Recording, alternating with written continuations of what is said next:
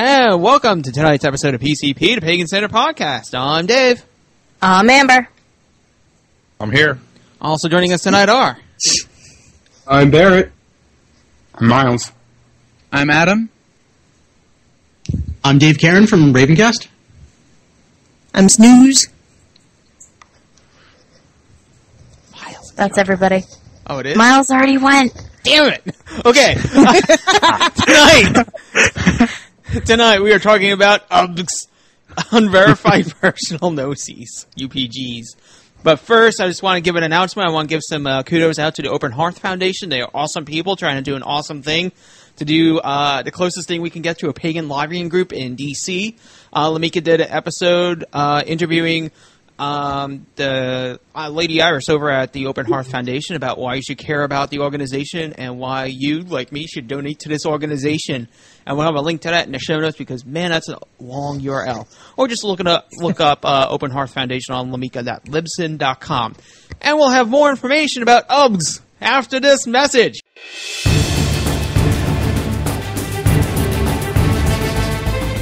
You're listening to the Pagan Centered Podcast, bringing unique and intelligent perspective to the masses using contemporary technology, allowing for free discussion of one's personal beliefs and enlightenment of those not familiar with a particular religion. We bring to the forefront many issues that are ignored or shunned upon by mainstream religion.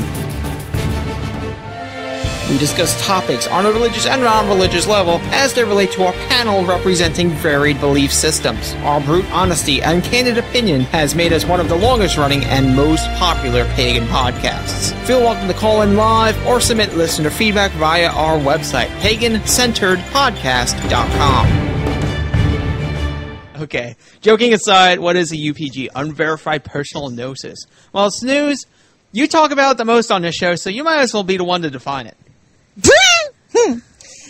Awesome cosmic power. oh Lord! Uh, usually people are trying to get me to shut up about it. Okay, I don't know whether to love you or hit you.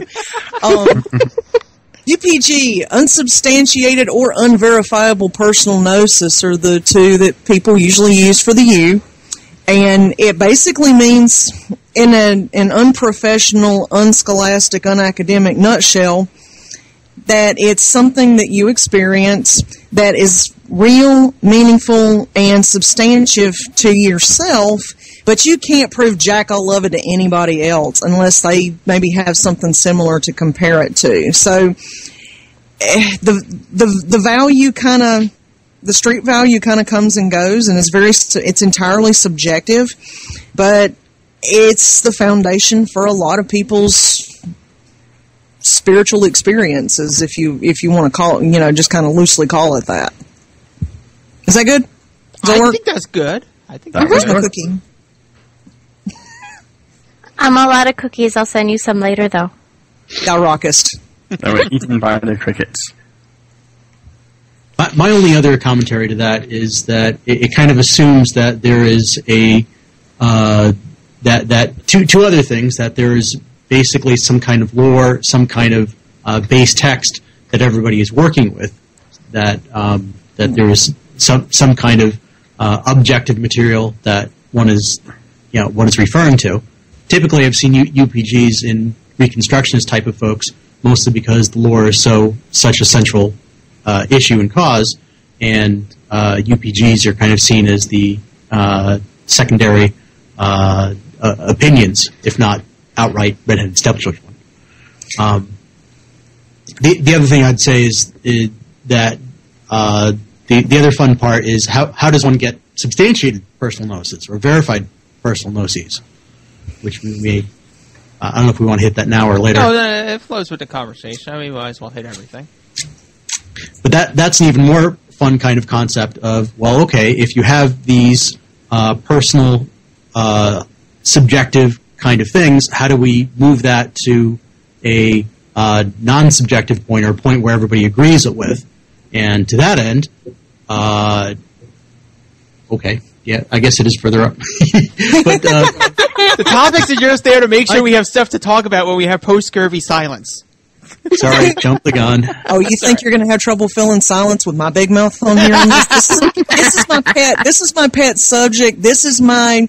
I mean, how many? Okay, quick show of hands, even though I can't see you. How many people on here right now have been a victim of my UPG lab rat guinea pig test? One of them, at least. Doesn't matter which one. You subjected me to it. Me too. That was fun. Cool. Okay. It's yeah. It, I Apparently, wound up someone's just, calling in to comment on it. just to add quickly onto something that I don't know what um, David said just a second ago, and I do agree with him about a lot of that.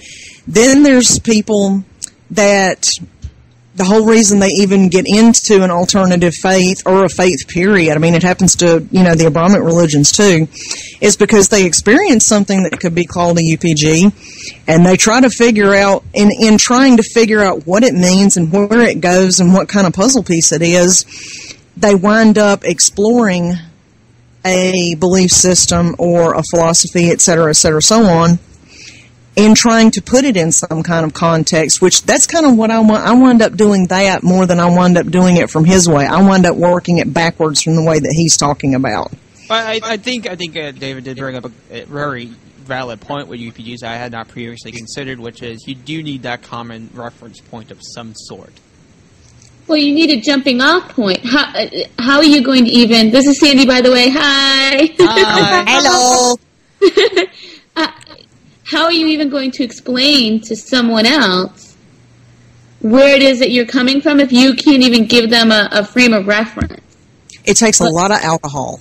no, I'm serious. It's that's one of the reasons why I started doing what I refer to as my UPG lab rat thing is because there's a lot of stuff that I've run across that I don't have a I don't, I don't have a system to plug it into that it entirely fits all the time. And since I'm an appropriative, eclectic, mixing bimbo from hell, I wind up looking into things and saying, okay, what do we got here? How does this compare? I also like looking at patterns in systems that don't necessarily grow out of each other or aren't necessarily each other's godchildren, just to see, you know, what people's brains come up with and I tend to look at that kind of thing. Sometimes mm, the really one of the only ways I've had to get a frame of reference on it has been to lab rat people with it in different belief systems to see what they come up with. Okay. It's messy. that, that, see, that's so. To be quite honest, that's so far out of my frame of reference. I wouldn't even know how to uh, approach. I wouldn't even know how to approach getting to a personal gnosis from that venue. Usually, and um, I I think a lot of reconstructionists go the UPG the other way, which is, as, as Dave said, the the idea of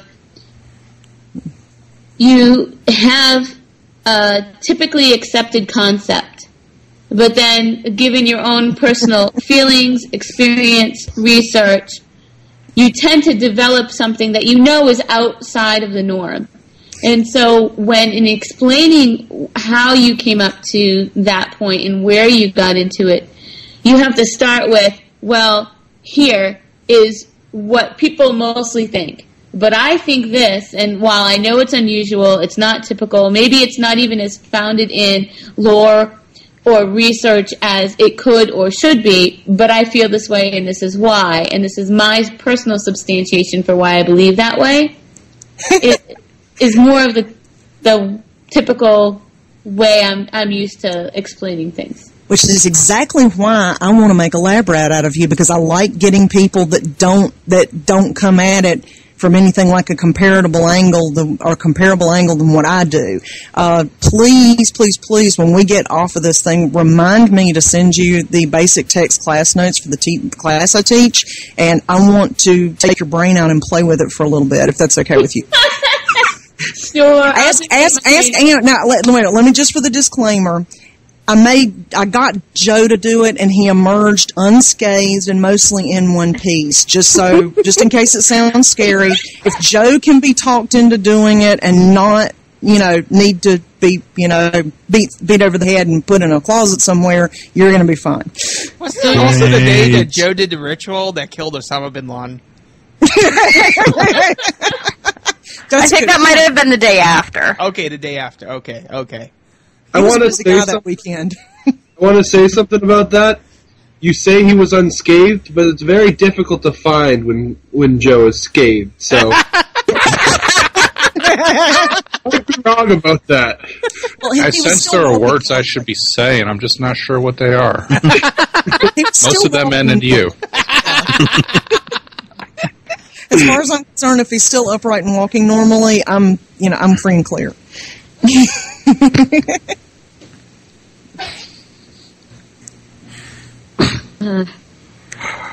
So I, I would me. uh, personally, I, I would, I, I would like it if you could uh, be a little bit more specific as to how you develop what you would consider an unusual personal gnosis. If where you're coming from is so eclectic, where do you start your norm, and where do you move from there?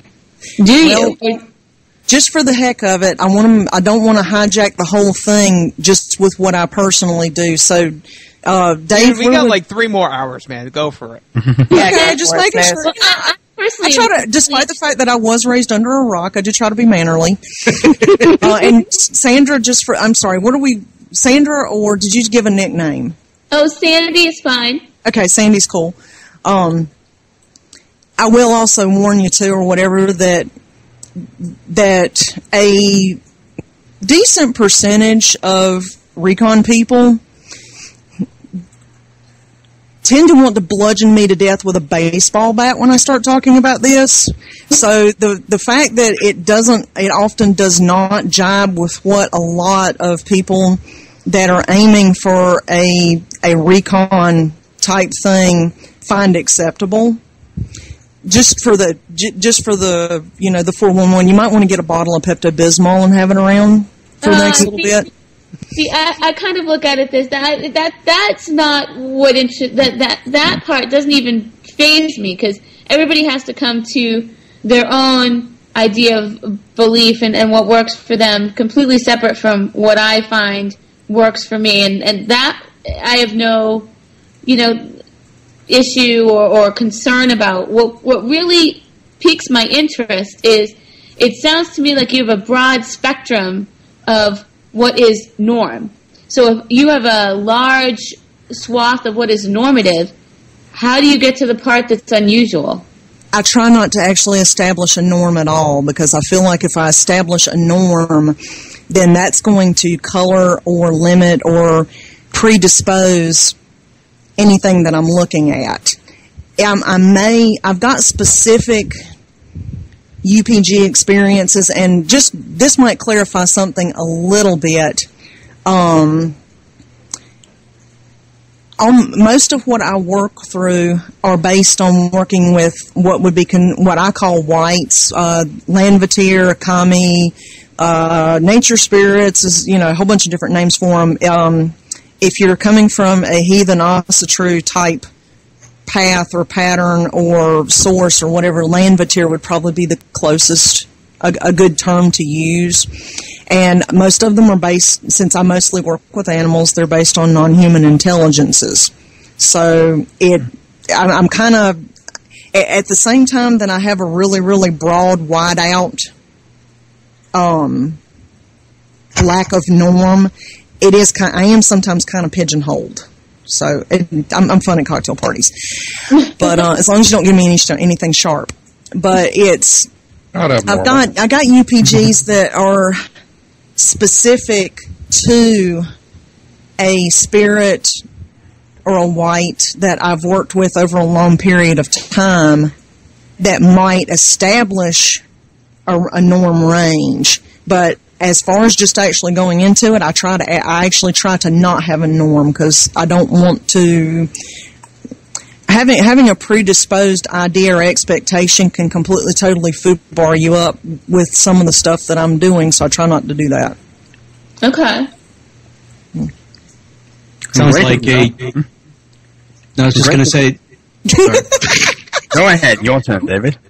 Sorry. No, I was just going to say it sound, sounds like just kind of an animist kind of uh, kind of outlook.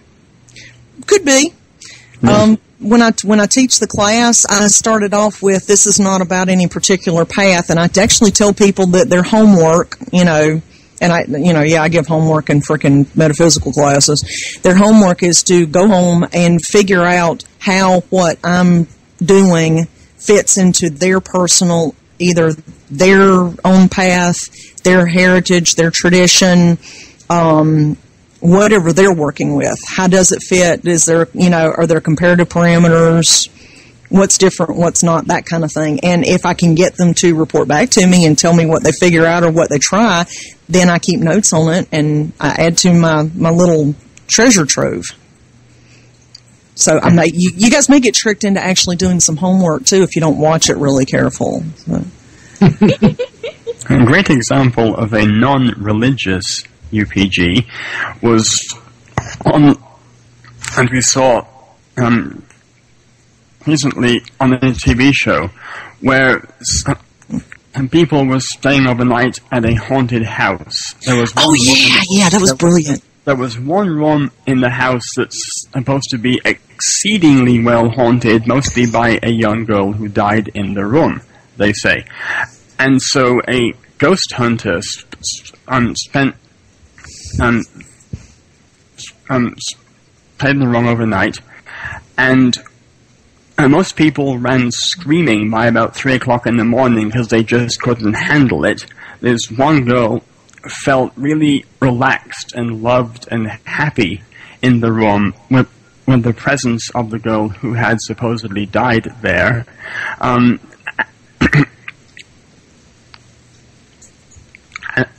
um, the cat who lives in the house as well um, up into her lap and began purring like mad. And so the ghost hunter made the assumption that the cat was working as the avatar for the ghost to communicate back to the ghost hunter. I think that qualifies as a UPG because there's no verifiable laboratory reproducible effect to show that a ghost is communicating through a cat. But she was convinced that the girl was talking to her through the cat. And the person who was hosting this TV show, and we saw all of this, said, Yes, I just said it looks like she's communicating to a ghost through a cat. Or if you're a skeptic, he said, she's she's holding a picture of a dead girl and she's petting a cat. But the awareness of the spirit in the room manifesting through the cat who is laying on her chest and purring, I think that's an excellent example of a non religious, unsubstantiated personal gnosis. You have to be a ghost hunter or a ghost spirit medium savvy kind of person to get what's happening there. Well, you you could go even even farther and, and just look at something completely mundane. Like I happen to have a job where I do a lot of outreach to New York City, and a lot of the outreach that I do to New York City happen to start, I believe, with just one person. Now, unfortunately, given the situation that I'm in, I can't actually go to that person and ask them, did you or did you not talk to these other people, which snowballed into this big, bigger thing? My own personal gnosis about the matter, my own thought on the matter, is that that's what happened. You know, you you get into a situation where you say, "Well, if I were to bet on something, this is this is what my bet would be," and that's the whole concept of UPG to me. But that's also coming from a, a, a point of view that I'm comfortable with. You you have certain set of parameters, and you make your best guess given those parameters. But you know that they're your own personal viewpoint because it could be interpreted, as you said, by somebody else in a completely different manner.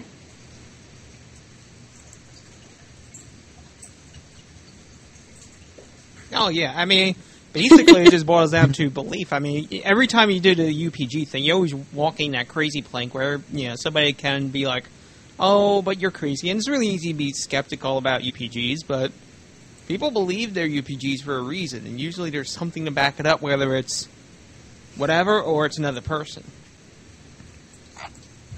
if you really believe that when you scoop up a spoonful of Alpha-Bits and the letters you have in your spoon are J E S U S, you might be absolutely convinced that Jesus is talking to you through your breakfast cereal.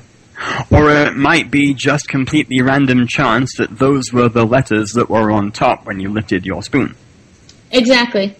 Exactly what I was trying to say. You, you can, you never, if you can't get to a source that can completely 100% verify one thing, uh, verify it, then that would be a personal gnosis. This is what the Large Hadron Collider is all about. They, they want to substantiate the fact that, you know, all these different particles exist, and the only way to do it is to create this most likely scenario in which they could exist. And so, if uh, one would one would say, if you wanted to verify a personal gnosis, maybe you need to recreate a situation in which those scenarios are most likely to occur, if you can, and get somebody else to be to be in on it and get their feedback as well. And you know, am I am the sanity check kind of idea? Ding ding ding ding ding ding ding. We have a winner. that's what I that's what I do when I refer to put to making lab rats of people is I'll sit them down with some you know with um, the I call the object that a wight or whatever uses as an interfa- a material interface point an anchor and I'll sit plunk them down in a corner if they're a willing victim and say, "Hey, okay, here, stare at this for a few minutes, write down what your impressions are and anything else you pick up or whatever, you know, and then tell me when you're done." And then I give them something, and I, I go comparative with that. Oh yeah, as a uh, public service announcement, when Snooze says "willing victim," that is not a figure of speech. and as public service announcement number two for those playing along at home, when she has the word white, she spells it in this context W I G H T, not W H I T E, in case anybody was misconstrued. Yeah, I had somebody that wasn't paying very good attention Right. in one of the one of They the classes that I I did. thought That, you were being racist. yeah, and I'm still trying to figure that out. But then it's you know, I, I context. I think people have learned to hear, program their ears to hear keywords, just like Google, and it's not a good thing.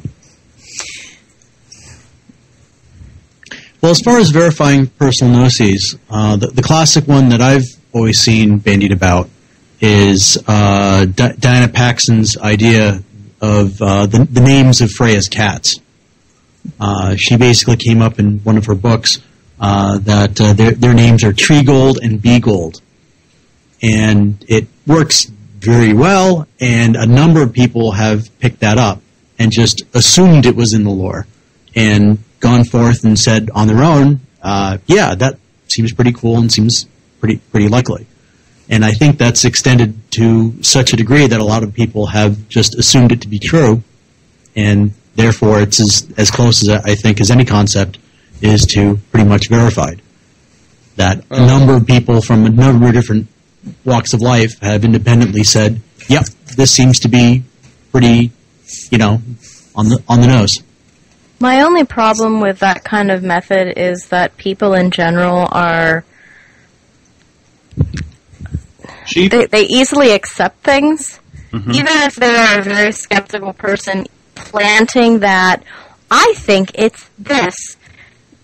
They they look for something and they're easier to grasp onto it, and that's that's my problem with that. So whereas yeah, a lot of people have said yeah yeah that's that's okay.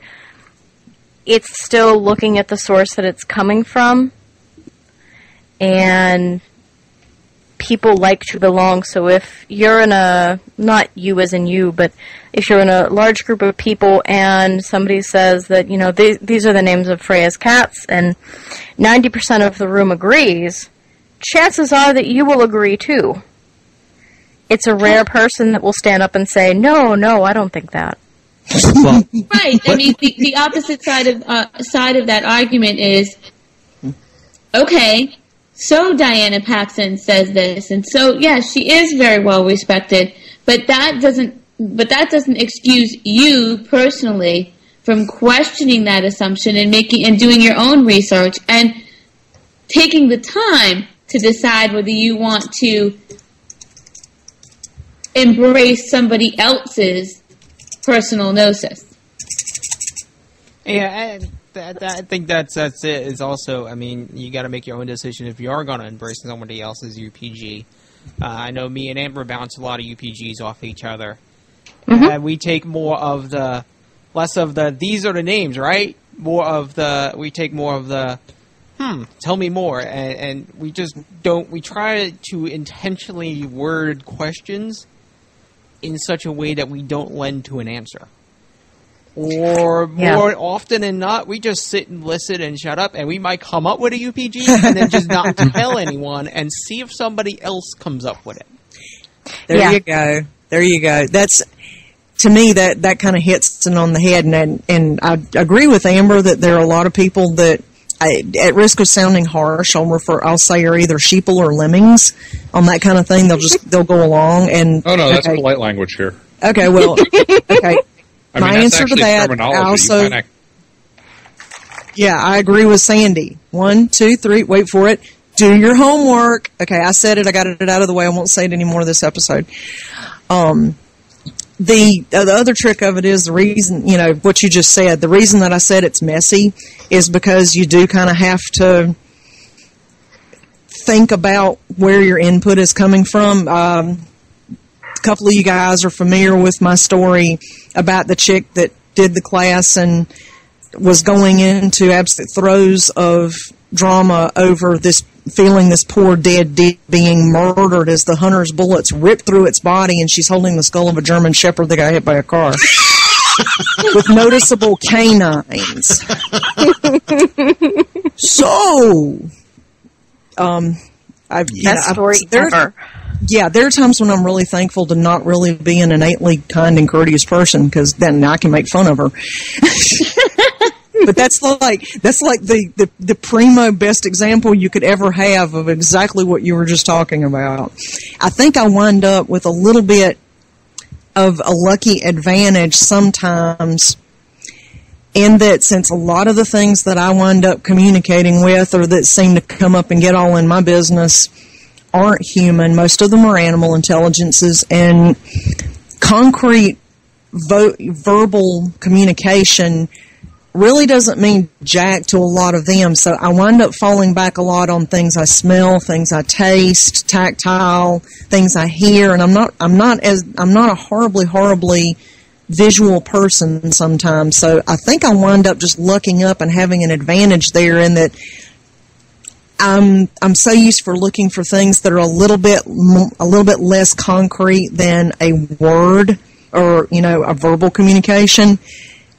That again, I don't I don't just say, "Boom, this is such and such." I'm like, okay, well, I, I smelled muddy muddy water. I tasted muddy water. That's where I'm coming from, as opposed to saying its name is Fred. And like Dave was saying earlier, a lot of times we'll and and Snooze has done this too when she came down. The the best way I've found is to hand somebody something and go, "What do you think of this?" Thank you. Don't give them any inclination that it's positive or negative or that they should be feeling something spiritual. Just hand it to them and see what they think of it. Mm-hmm. When it comes to, go ahead, Dave. Well, Amber does a good job of mixing things up. Sometimes it'll be good, sometimes it'll be bad, sometimes it'll be nothing. And by the way, as a reference, another public service announcement. If Amber says, "What do you think of this?" You say, "It's cool." What do you think of this? You say, "It's so cool." Then she shows you something and says, "What do you think of this?" And you say, "I have an, an aversion to that." She will probably make a necklace for you out of it. All right. Score. Don't warn people like that, Joe. Yeah, we just said, you know, don't give people any inclination. Yeah, but that's why Amber rocks. Sounds Coyote, pet the coyote for me, by the way. I miss him. He has been with me over the past couple of days, so he will get scritches from you. Awesome. Well, wh- when I talk about you know verification process of of you know a number of people, I, my thought process is not like ten or twenty or even fifty. I'm talking like you know hundreds, if not thousands, over long durations of time. This is to to verify something requires a a whole lot of proof and more than just yeah that seems cool from you know the, your your local folks. But it also depends, to be honest, more more than anything else, on the the depths of of and and the, the, the limits of what you're talking about. I mean, names of cats, eh, you know, potato potato. If you're talking about, well, you know, a bald, Balder's alive or dead, you know, that's got huge ramifications, and I don't trust anybody on that besides, well, perhaps Balder. Who just happens to be Scrotager's cat, apparently. That's a that's another me- that's more messy. Messy is a good word, and um, where I kind of come from on that, I actually like keeping it small because for the what you for uh, for what you just quoted, I like looking at patterns in things. Like okay, like you just said, if for the past five thousand years, people have had the feeling that making ritual offerings into a bog or a body of water is their way of passing something meaningful on to the spirit world. And you've got gaps like of 500 years when it didn't happen and then it came back and it's happening again. That makes me think that this is a upg experience lending itself to people's interpretation or interaction with spirit.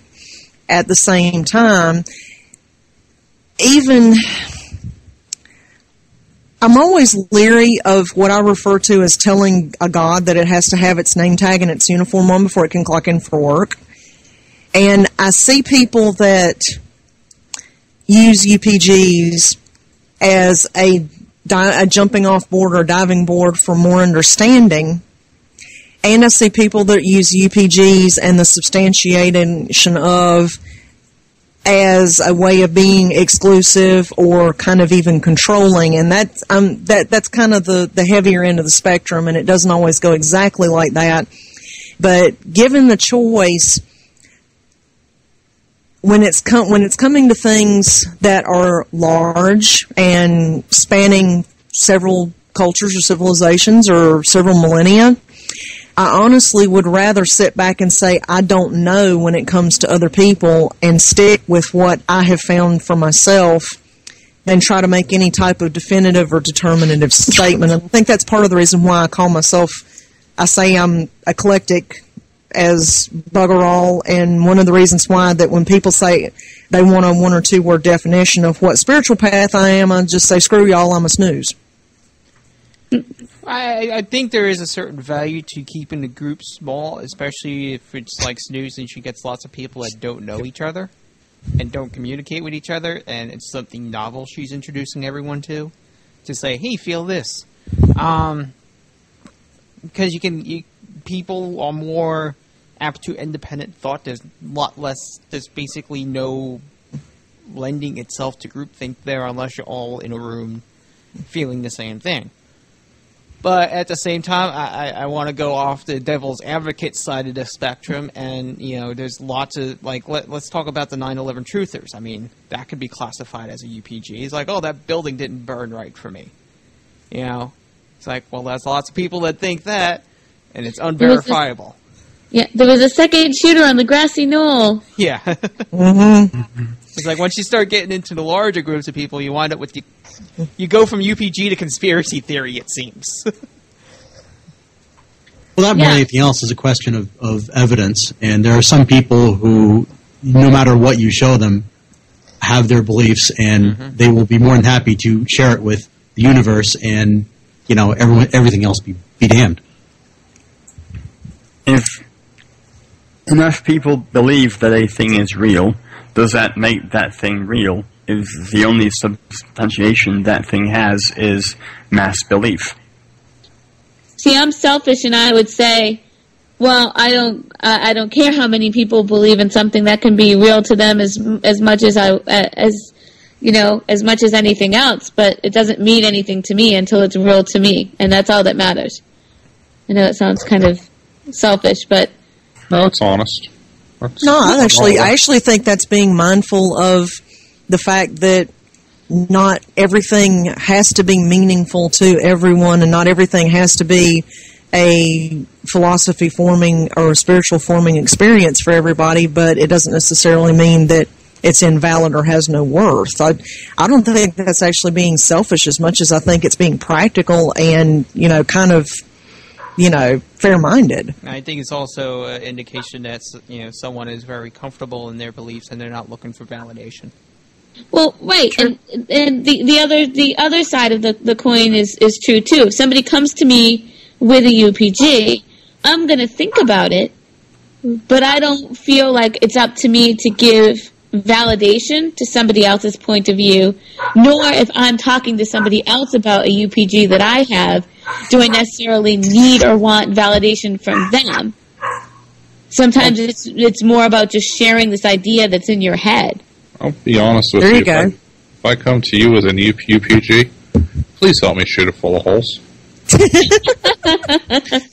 And you that's told what me it, that and it didn't work.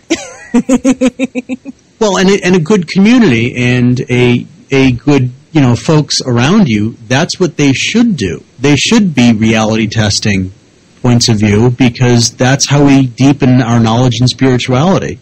That's part of the do your homework is helping that- people make you know make you know verify the verification process is running that through the mill and attacking it. Well, the laugh test, right? Do you ta- if you talk about something and you bring up something that you really believe in, if people laugh, then you've probably got to go back and check what it is that you're thinking. Like, Not really. I mean, if you look at some of the most awesome inventions in history, people laughed at them. right? People as a whole are pretty stupid. Right, but there's a certain amount of stick to itiveness and, and going back and, and really understanding your point of view because if people are laughing, then you need to have this this uh, this idea down. You need to know what it is that you believe. You And I- also have to. I'm sorry. Go ahead. I, I don't think that you can have with a personal gnosis. I don't think that you can have a weak point of view. You should have an accepting and uh, and an informed point of view. Like you said, I want somebody to shoot things full of bullet holes when I when I talk about it. Well, that's part of being informed. But at the same time, you can't present what it is that you're thinking clearly if you're not really solidly understanding what it is that you believe in the first place. And Dave cut, Applause. Dave got to it before I did in the chat room, even though I was stealing his line anyway. Go for it. But it's it's it's one I love. Extraordinary claims require extraordinary proof. Yeah, Or precisely. reasoning, mm-hmm. as the case may be. Now, I can't go there. I mean, I've, I've already got Dave once, and it's been another low blow. I can't pull an 86. Someone else. Oh, oh. let me, I- let yeah. me try to do my best doctor commercial voice. Laughable UPGs may include claiming you cure headaches with anime characters. Gore. and I mean that's and that that again that's you know the that's the messiness clause. That's the messiness clause clicking in because you. Smile, you know, echoing. what the heck did that come from?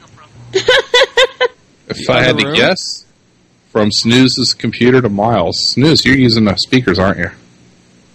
Was Yeah, but we're we're sitting in the same place that we've been sitting since we got started. It just no, he hasn't Oh. moved either. Odd. In Skype two separate rooms. Hey, somebody locked us in the basement here. Is there a door between you and is it closed? It was a minute ago, and it can be again.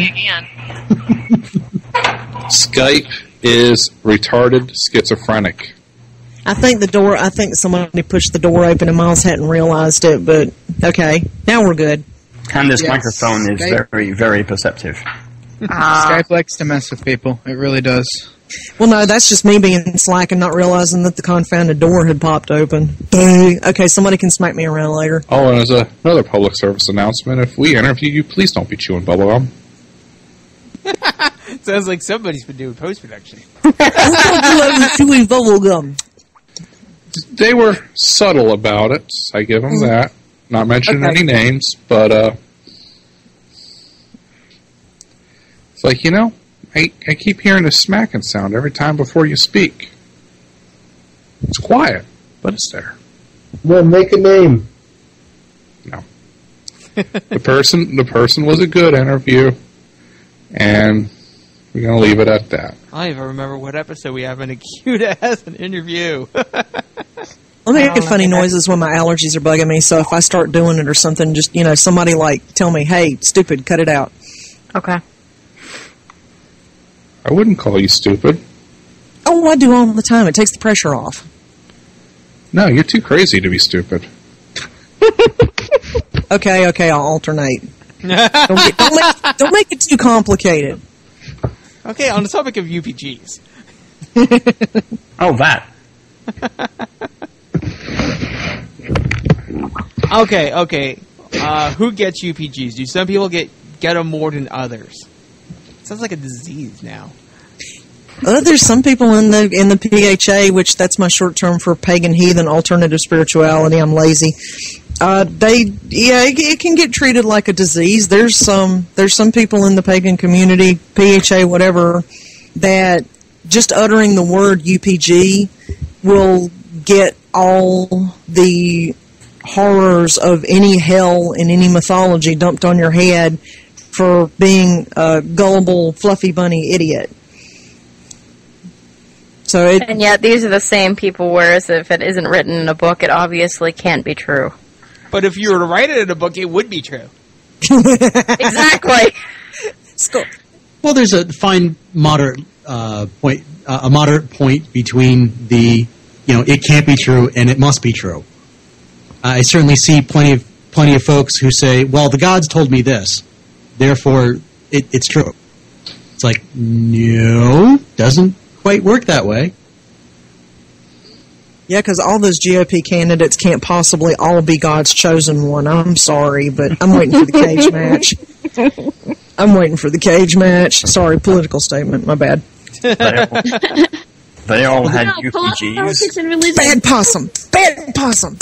They all had UPGs. They all just by chance had the same UPG, and they all believe that they are the sole inheritors of that UPG. They all also fall into that uh, category Dave was talking about a few minutes ago about the same type of people that will tell you they can cure headaches by waving a Sailor Moon wand at you. Yes. Yeah, Well, if you believe laughter's the best medicine, it is possible that waving that Sailor Moon wand will cause you to laugh and maybe generate enough good vibes, and endorphins, and all other fun stuff that you temporarily forget about your headaches. So, from you mentioning that, you, you, you've certainly got a, a vein throbbing the, in my forehead and starting a headache on me. Thank you very much. I Well, just like on, let me- playing let me- devil's let me whack- advocate. Let me just whack you with this magical girl stick and, and it'll knock you unconscious and you won't feel your headache anymore. Um, a little gratuitous violence never hurt anybody. Well, okay. I'm also of the firm belief that sometimes the universe just likes having fun with people. Yeah. Keep that in mind when you get your UPGs. Well, here's my personal favorite saying about intuition. Side subject, close enough. Intuition is not ne- your intuition is not necessarily for your benefit. Very. Dun, nor is it necessarily evidence or proof of anything. Take it or leave it as it may be.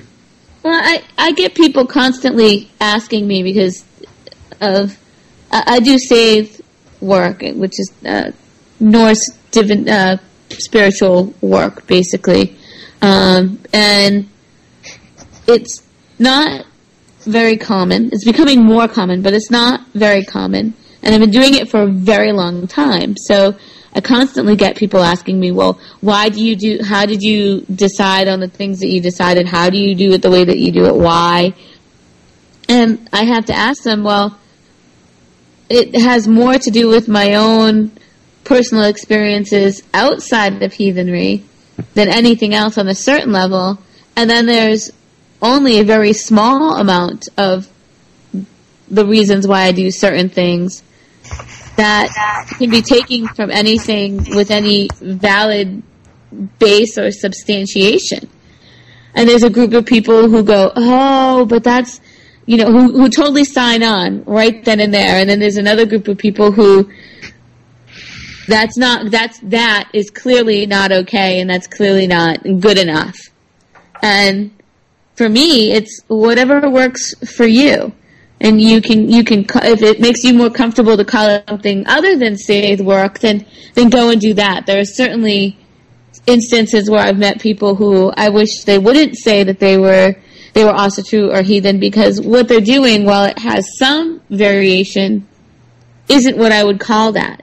So that, that gnosis just in general is, is a difficult thing to handle. Just like if enough people write it, well, it must be true and vice versa. Well, this is how Diana Paxson found herself in the enviable, enviable position of having named a god's familiars when there isn't. We don't have that knowledge. We, there's nothing anywhere. So, Anybody mind if I attack an invisible elephant in a room? Go for okay. it. Don't beat up the elephant. It might be Alrighty. a Klingon ship. Oh, that's okay then. okay, well, I'm pretty sure most everybody here has had a personal gnosis. And I'm going to. I need a volunteer. Hello. Oh, volunteer. Alrighty, Barrett. What called you to your. to be a heathen? What called me to be a heathen? Yeah.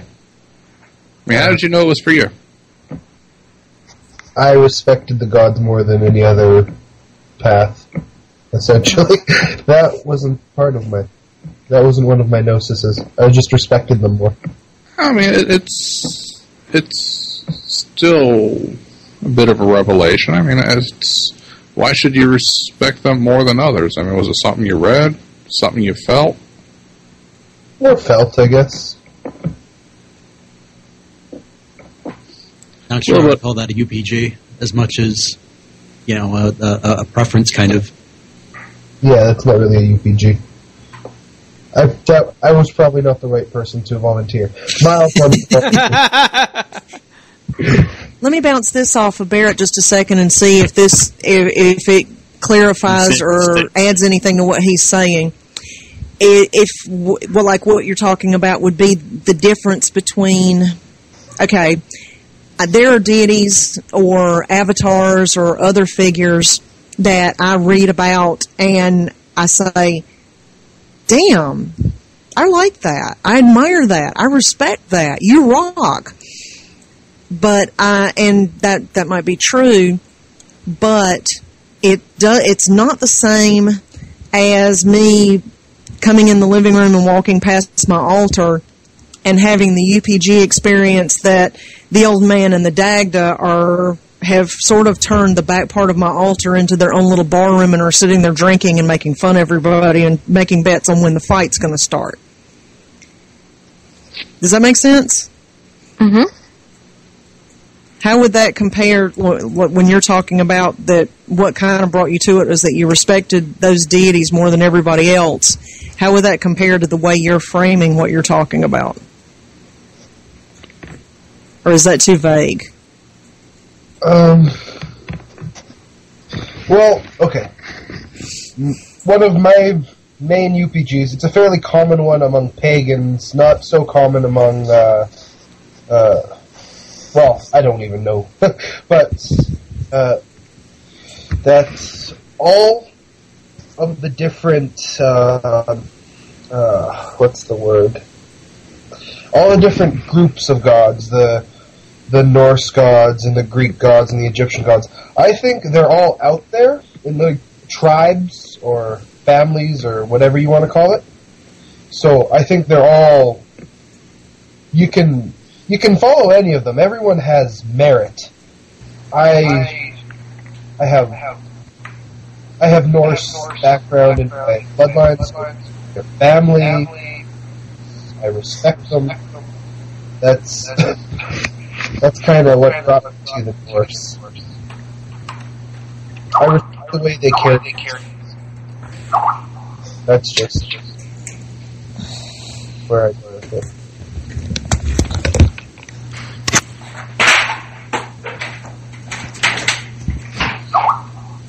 Hmm. Okay. As BFO with Miles' echo. no, I, I, I can, I can see that. Like, I have, I have a lot of UPGs about um, Hella. She's, I, I happen to have a, a, or feel a very close pull to find out more about her and a drive to find out more about her and to, to work with her where most heathens wouldn't at all. And it, it might be looked upon by some as being a very negative thing.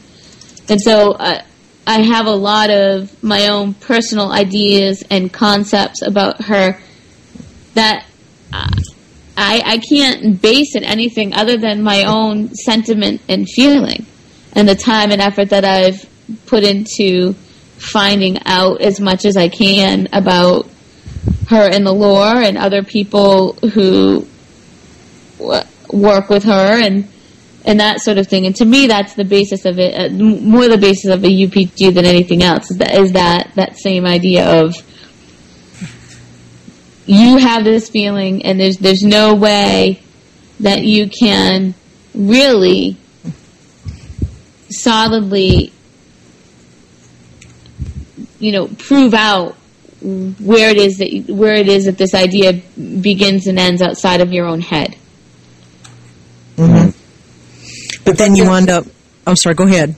If I can ask you a question, Sandy, on your UPGs about Hella, have you ever had one that that you felt strongly about, but but went glaringly against what's in the lore, like directly against?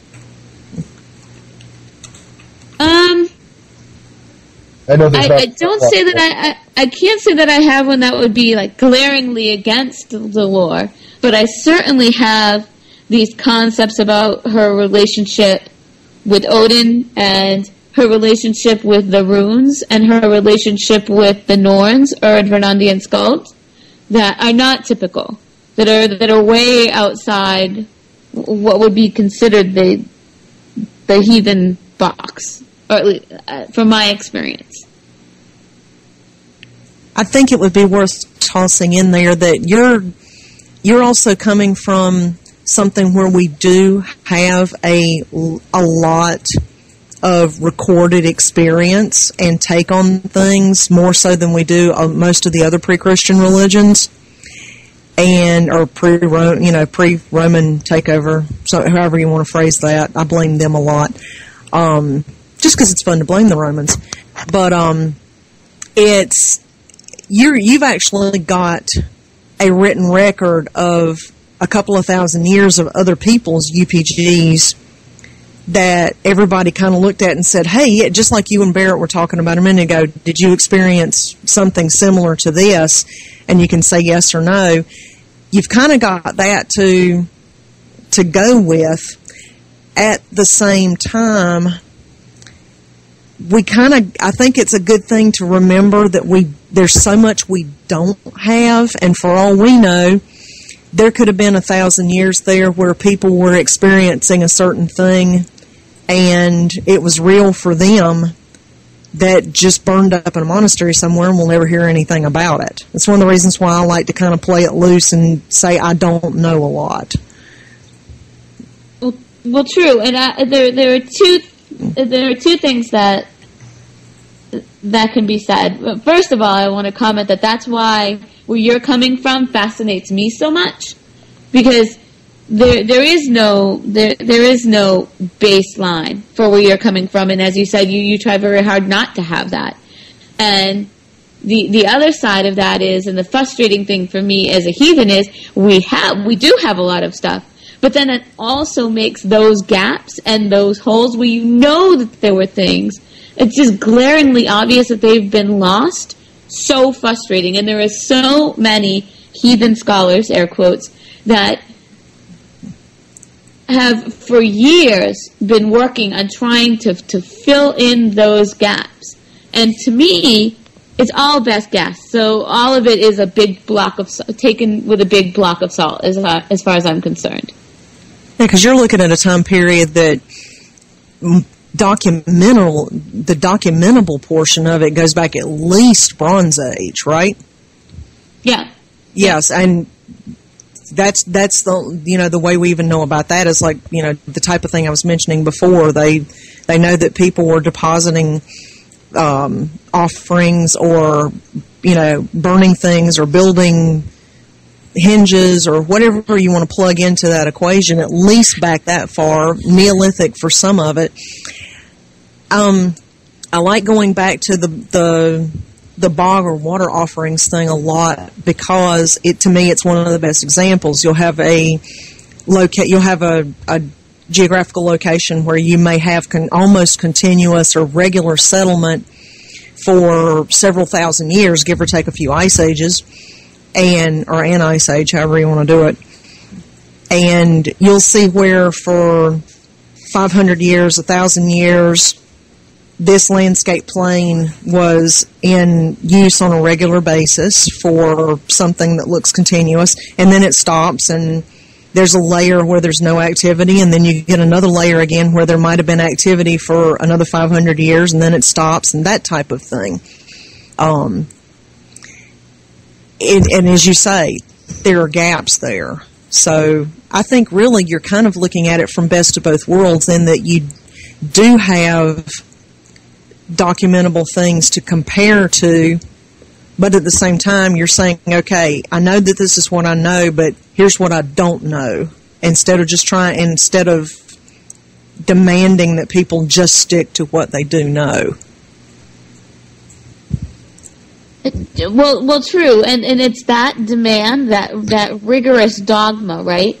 That that we're really talking about because in the absence of that dogma, there is UPG. And that whole deity name tag uniform clock in thing. well, there are definitely points where things get even more confusing. Because, um, well, because it's not confusing enough. But, I mean, for example, um, the, uh, the the book uh, Elves, Wights, and Trolls by uh, Gundarsson, I think. Yeah. Uh, he he basically did a uh, a geographical uh, sociological review of well elves, wights, and trolls of different land spirits, and basically compared uh, Anglo-Saxon and Britain and uh, di- and different what different folks from different parts of Europe thought about different uh, uh, different uh, land wight kind of kind of entities. And the upshot was that you really can't tell unless it's in front of you and you know what cultural background you're working with. So, because some, you know, if you're dealing with a, a German land wight, milk is, is a good thing. But if you are dealing with a different country's land wight, then in fact that may in fact be an, be an insult. And, well, so what does that mean for the modern heathen and pagan, and what you know what what's going on there? Well, good luck with that. I have a question as well about UPGs and regional perception of divinity. This might be a, a bit rambling. Let me try to make some sense of where these thoughts are going. Um, the Norse culture has a lot more snow because of where they live than, say, Honolulu. So there's more Norse um, influences and more Norse gods who have some kind of effect on or influence by or relation to the weather of the region. inversely, gods in Honolulu or South America or somewhere else have have um, aspects of faith or focus or things that are more important to that region or that region's people. I've heard some people say that the fact that the gods of the Greeks are based on and reflect the needs of the Greek people, and the gods of the Chinese reflect the needs and so on of, of the Chinese people. These these point, they say, to the non-affirmation of pagan deity because obviously they are focused by the needs of the people. So the gods are made by the people, not the other way around. Um, Well, it's hang on, hang on, hang on. I'm only halfway there. Um, I think so.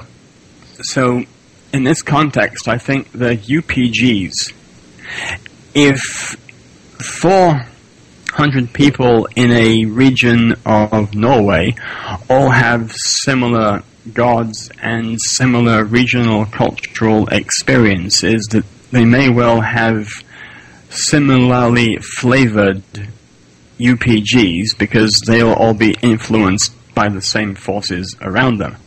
Um, which means that their reasoning or their awareness of these is influenced, of course, by where they live.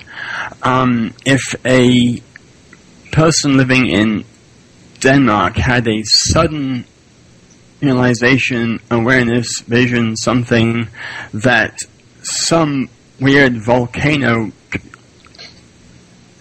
artist is talking to her about don't touch the rocks. Everyone else might think she's crazy, but if she did research and found out about Pele, then she would be having a divine moment from a completely different culture. Does that qualify as a UPG? I got uh, a question and answer in response. Good. Uh, the the easy answer is I, I know in Iceland they're pretty animistic to to the point where yes, most rocks, volcanoes, everything does have its own kind of spirit. Oh, sure. Uh, you build you build roads around this particular thing because the the Landvættir there don't want you to disturb this rock. You know, so sure. Goods. There's similarities of respect regardless of region or culture. Iceland's Right. good for that kind of thing. Cool. Yeah, Okay. I- Iceland has a, a ton of wild areas that are, that are still quite well wild and, un, and untamed. Yeah, I- and I'm sorry for sidetrack for for sidetracking you there. W- w- Go go on.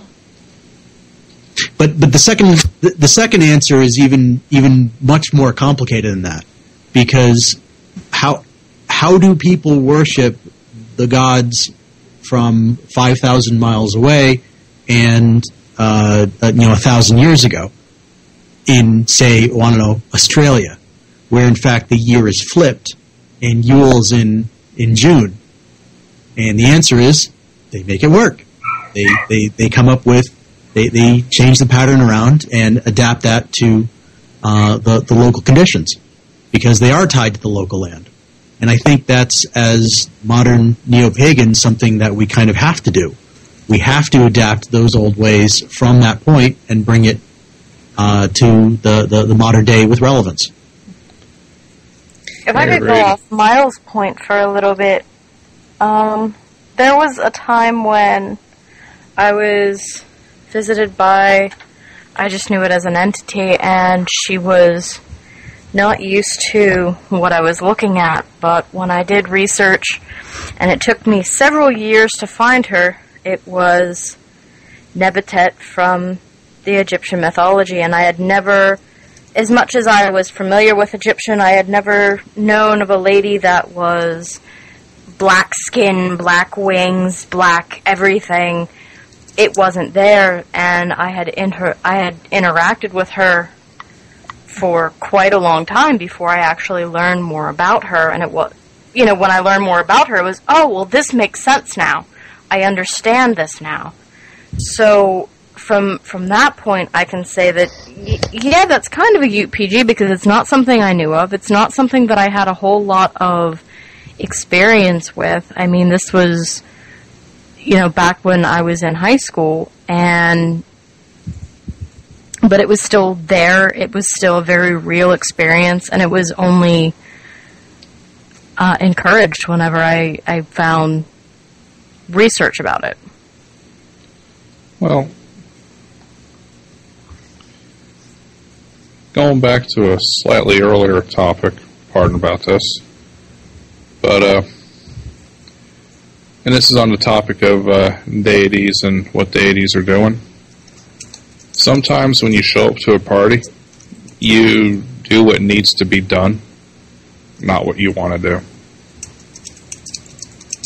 If I you're think showing it's- up, I think this all goes back to researching your UPGs. I mean, just because you have some sort of spiritual, you know, experience or something you cannot explain does not mean you shouldn't pursue it and research it and take that unverified personal noti- gnosis into something that goes into the verified column. Just by doing research. Not saying they're all going to be like that because that's certainly not the case, but sometimes, No. sometimes it is. well, Uh, I don't know, and I, I don't know how you make something that to, is your own unverifiable gnosis into something verified and consider it verified. Like when when do you when do you reach that point?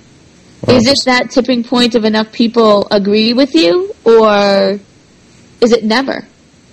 Well, for starters, take uh, notes. Keep a journal and all other fun stuff. Because, and I'm not I'm not saying publish it for publish it, but if you're looking at the uh, future generations, say hypothetically Adam, both Daves and Barrett are all having UPGs about relatively comparable to same stuff and they all take notes, and 200 years from now, they find our journals.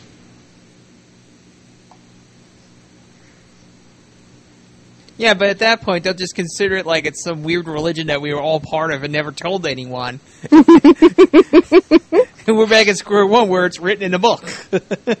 Yep. Pretty much. I think Snooze is right that it's it's both. Because you can't if you feel strongly about something then yes, of course you have to question, you have to question is this something I'm experiencing within, without? Where is it coming from? Why am I, you know, on the border of schizophrenia here or what's going on? But at the same time, if everybody you ask says, "Man, you- you're you're way out there, you're nuts," that does not mean that it's any less. Like there's a lot of pagans that don't deal with the the things that you know Dave and I have talked about or Scurvy and I have talked about and you know they won't agree and I'm cool with that. I don't care because it's, mm-hmm. it's very real and there's been enough of people to where I've brought up vague things and they've filled in the rest of the blanks to where I know it's not just me. That's enough for me. The rest of the world, I don't care. All things in moderation, including moderation. Yes. I definitely do think there, there's a difference between personal experience and expecting a, a, a I guess, a, a level of UPG kind of thing. I mean, I've done meditations and you know, and and got you know messages from the gods, but I don't really consider that a UPG kind of kind of deal.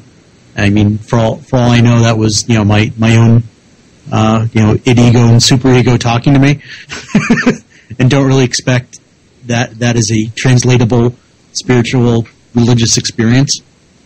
Right, but there are some people that do. There, there are some people that say, you know, well, I'm, I'm married to a god, and and so I I know best about what this god's likes and dislikes are, what their favorite color is, that they like long walks on the beach and pancakes on Thursdays, you know, like and some people are stupid.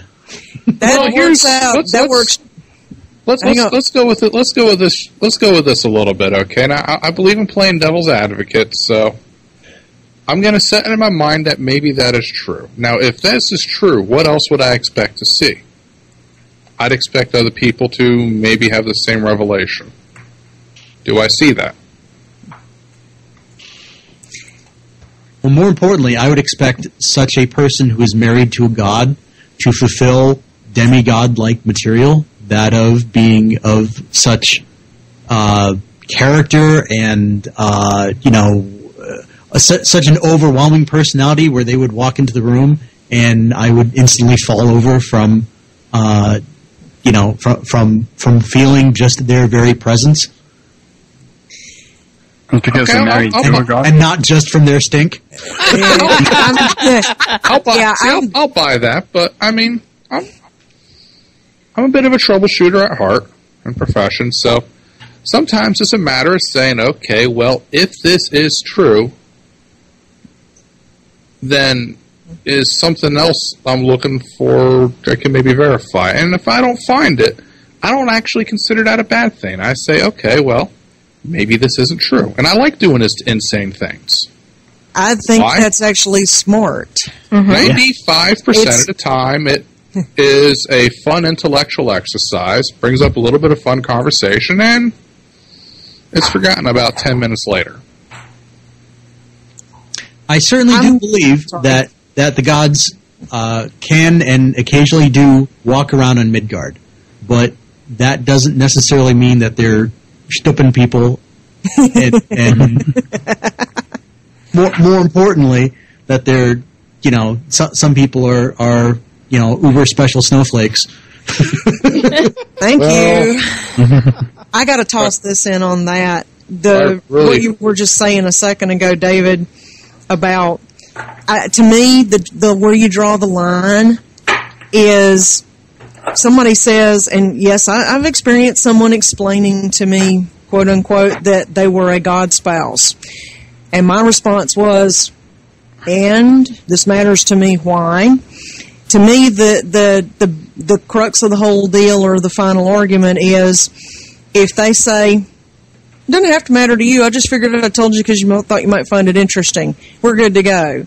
When they try when when you try asserting your own upgs onto someone else and telling them that they must not only you know validate you but accept that your upgs might even outweigh everyone else's you know not not your personal stuff but this person says i have this upg of being such and such or whatever and in spite of what your personal upgs may be yours are invalidated compared to mine. That's when the red flag should go up the siren should go off and you should look at this person and go okay you a fool. That to me is the that that that's the that's where you cross the line from UPG into something that becomes in the ballpark and a close relative of a cult type thing.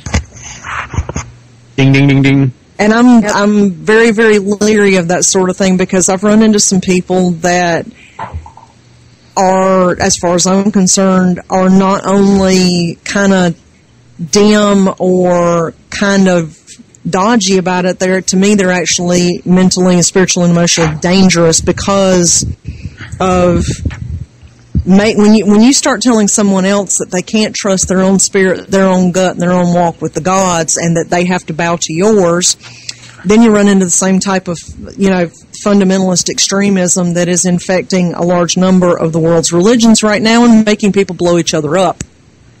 Well, true, Yeah. Andrew, and I think you. And that's you an hit it right oversimplification.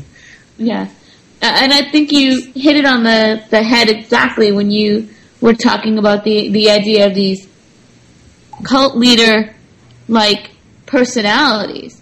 When you get into the position of looking for those people who are in need of direction, and then telling them that they can't trust their own intuition or they shouldn't learn on their own, study on their own, and come up with their own ideas then you're getting into that you're, you're getting into that that cult leader mentality where you're you're basically looking for people who are going to blindly follow your own thoughts on on things right or wrong without any critical thought or substantiation on their own and that's where the acceptance of somebody else's UPG can become really dangerous Yeah.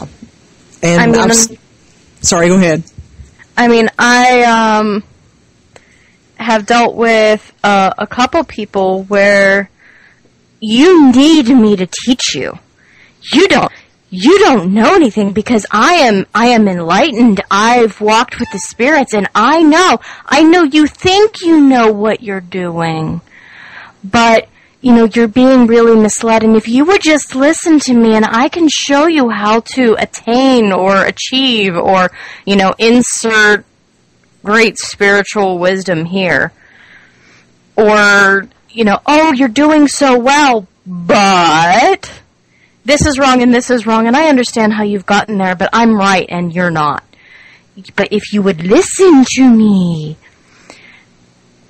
and they're, you know, they're people you should stay away from because it's, you know, like like you guys are talking about. You can't follow your gut instinct. I can follow mine because I'm better than you. And you should really just trust me because you're just below me. Well, here's a soft rule of thumb that I've found, and I'm going to use the word intuition because it's a word I'm comfortable with. And if anybody don't particularly like it, well, I won't say I won't complete that sentence because it get beeped out anyway. But if you're receiving an intuition or a gnosis or whatever that is of vital importance, normally you're going to have enough time to research it anyway. Well, and you and you should just because the how can I put this? Okay, I, honestly believe that there are points in my life where a god or goddess has has really formed a connection. But like Dave said earlier, that doesn't mean that I'm just even going to believe that at face value because sometimes, regardless of whether you believe that wholeheartedly or not, it doesn't necessarily have your best interest at heart.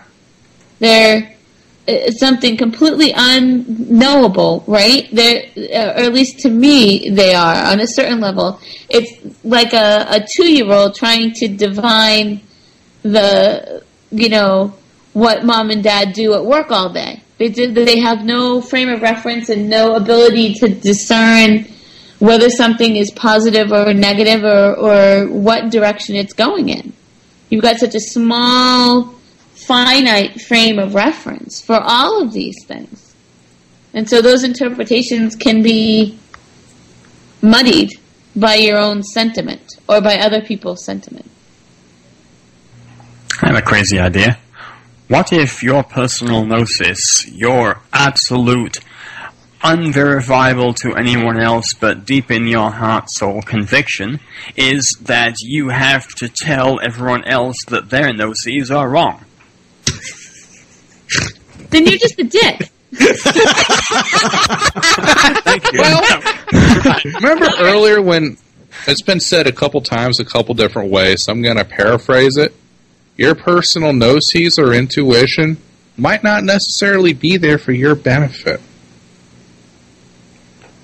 Perhaps you're simply the honing stone that someone else needs to harden their beliefs. You know, Joe, I, I do do work with Coyote, and I um I can relate to that quite well. That reminds So- me. I should apologize in advance. That reminds me of one line from a Dead Kennedys song.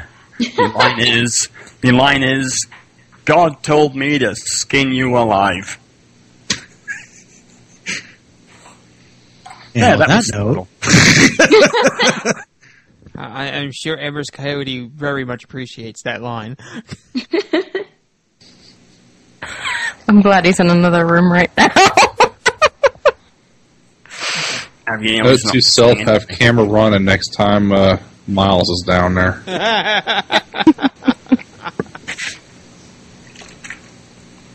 I've got a fun UP, UPG that I think folks can can uh, reality test. Sure. That'll, that'll be fun. I'm describing an afterlife.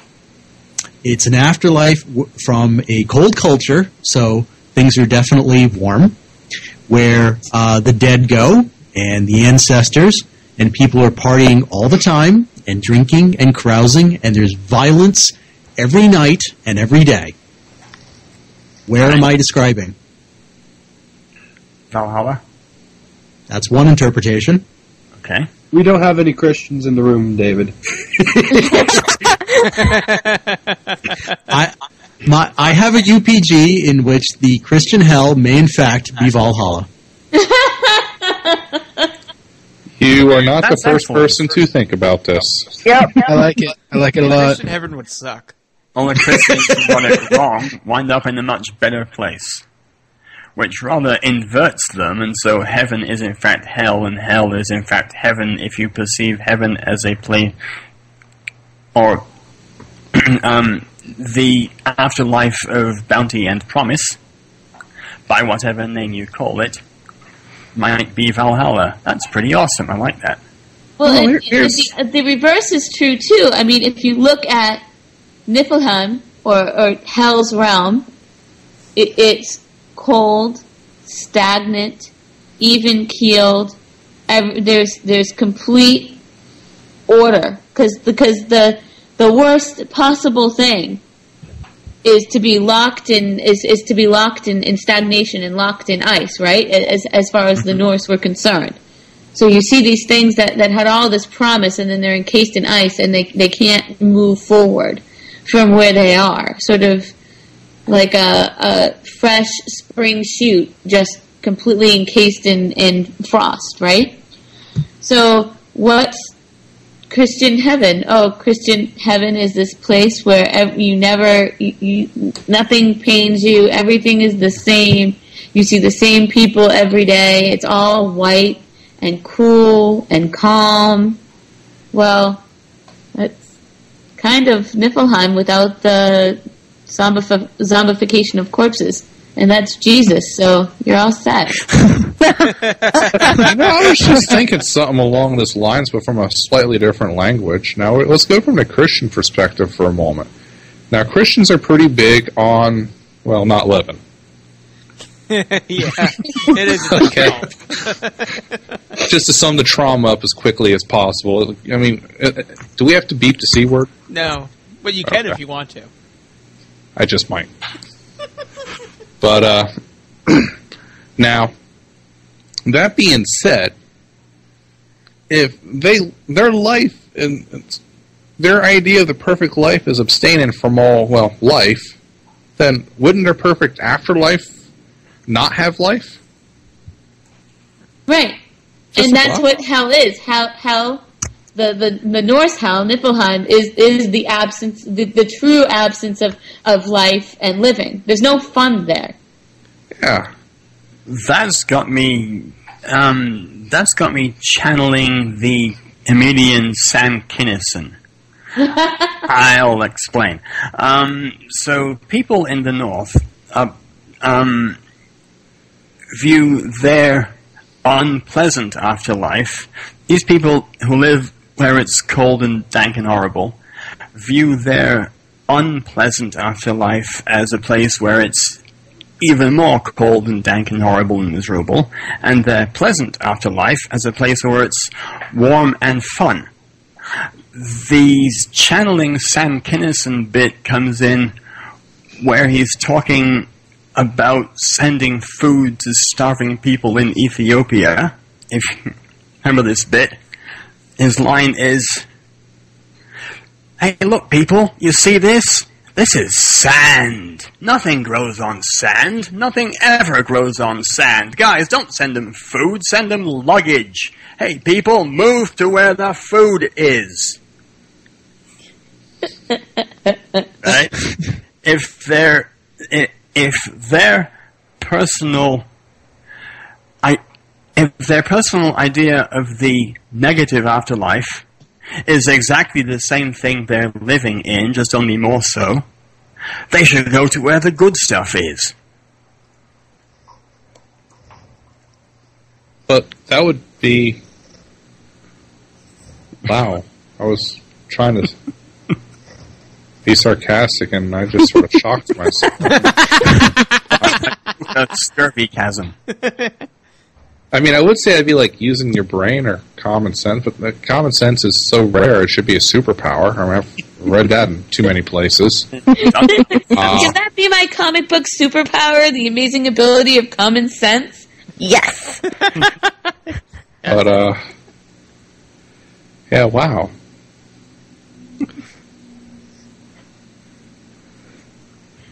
Yeah, let's send them luggage. Or how Actually- about give them governmental infrastructure so they don't have to leave? But that's Actually, a whole no, other let's send them conversation. boats. Oh no.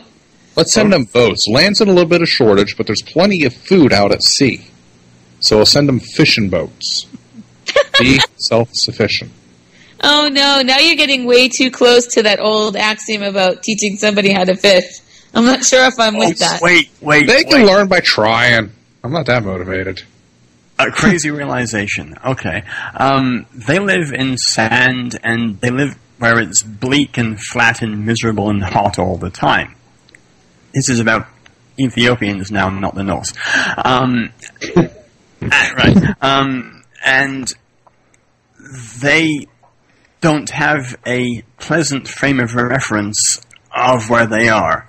So we should send them to the Nevada flats where Burning Man takes place. They can have the hot and the flat and the sandy, but they can have a roaring good time while they're at it.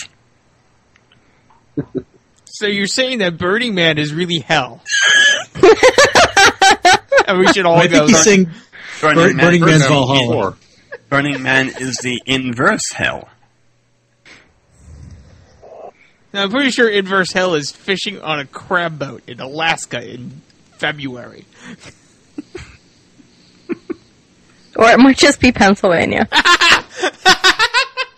Well, so or it might with just what, be Pennsylvania. so if- with going with what Dave said, does that mean going to Winnipeg, Canada in December is going to purgatory? hey, we are still leaving Pennsylvania.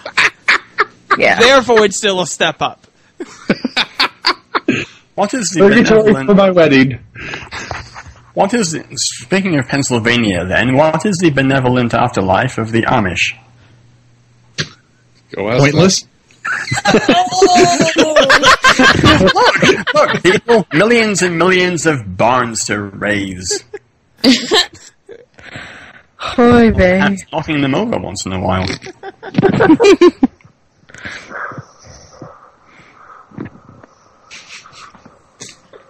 The point at which your life gets so bleak that heaven becomes becomes an atheist's dream because it doesn't exist. Oh wow! Hang on. I think I think Eric's talking about the afterlife event horizon. That's awesome. what is the point at which all things become a singularity? No, this is this is way too highbrow for me at this point. It's also getting a long way from talking about UPGs, aren't we? hey, I thought I was the ADD one. So if you have a UPG about the afterlife being a giant black hole, let us know. Uh, Miles at pagancenterpodcast.com. Thank you. Yes, exactly. I think the UPG was faster. Who's echoing now? Sandy. I am. Yep. Apparently. Ah, better. Maybe. Be. Kind of. Better. No. No. Uh, Wait. Yes. Echo. There is no echo. Okay, good. Okay, in that case, let's turn this around and quit talking about the Amish. event horizon of Yamish. divinity and the unknowable. The Amish And event instead let's horizon. talk about Yamish, it's totally on topic for the pagan centered podcast. Dave's other favorite topic, Ken. hey, we're not down there yet. And I might just push that off until the otherkin episode since we're having so much fun with UPGs. Let's go up a little bit. Traditions that embrace UPG. And as a Wiccan, I don't really like. I don't really see UPG being embraced into the religion itself. but we're quite the eclectic bunch, so you kind of just assume it's just a person's personal beliefs anyway. Well, in that case, does embrace mean make one with the liturgy and the foundation of the faith? Or does embrace simply mean to respect and appreciate the fact that other people have them? I would say it's a little bit in between. Like, not just that you're respecting that people have UPGs, and not quite to the extent that it is integrated into the core foundation of the religion, but just a set of secondary practices that are kind of piled on top, but it is very clear that these are just piled on top and not officially part of the religion. Yeah, as, as long as you have that that disclaimer, you know, I usually go whoop whoop whoop UPG disclaimer whoop whoop whoop. as long as you have that, as as long as you clearly define what it is that you're saying, and not intent unintentionally or intentionally lump yourself into somebody else's faith, then I'm okay with that. Uh, It's it's when uh, people try and glom on to a belief system just because they want a, a label that they that they can throw around. That I get that I'm no longer okay with that. I, I'm I, I want them to be more clear and simply say what they are and what they do, and and not try and use somebody else's you know foundation as their own simply to get a platform to talk about what it is that they think. Now you have me channeling a they might be giants line. I do this a lot. The, the line in this case is everybody wants a rock to wind a piece of string around.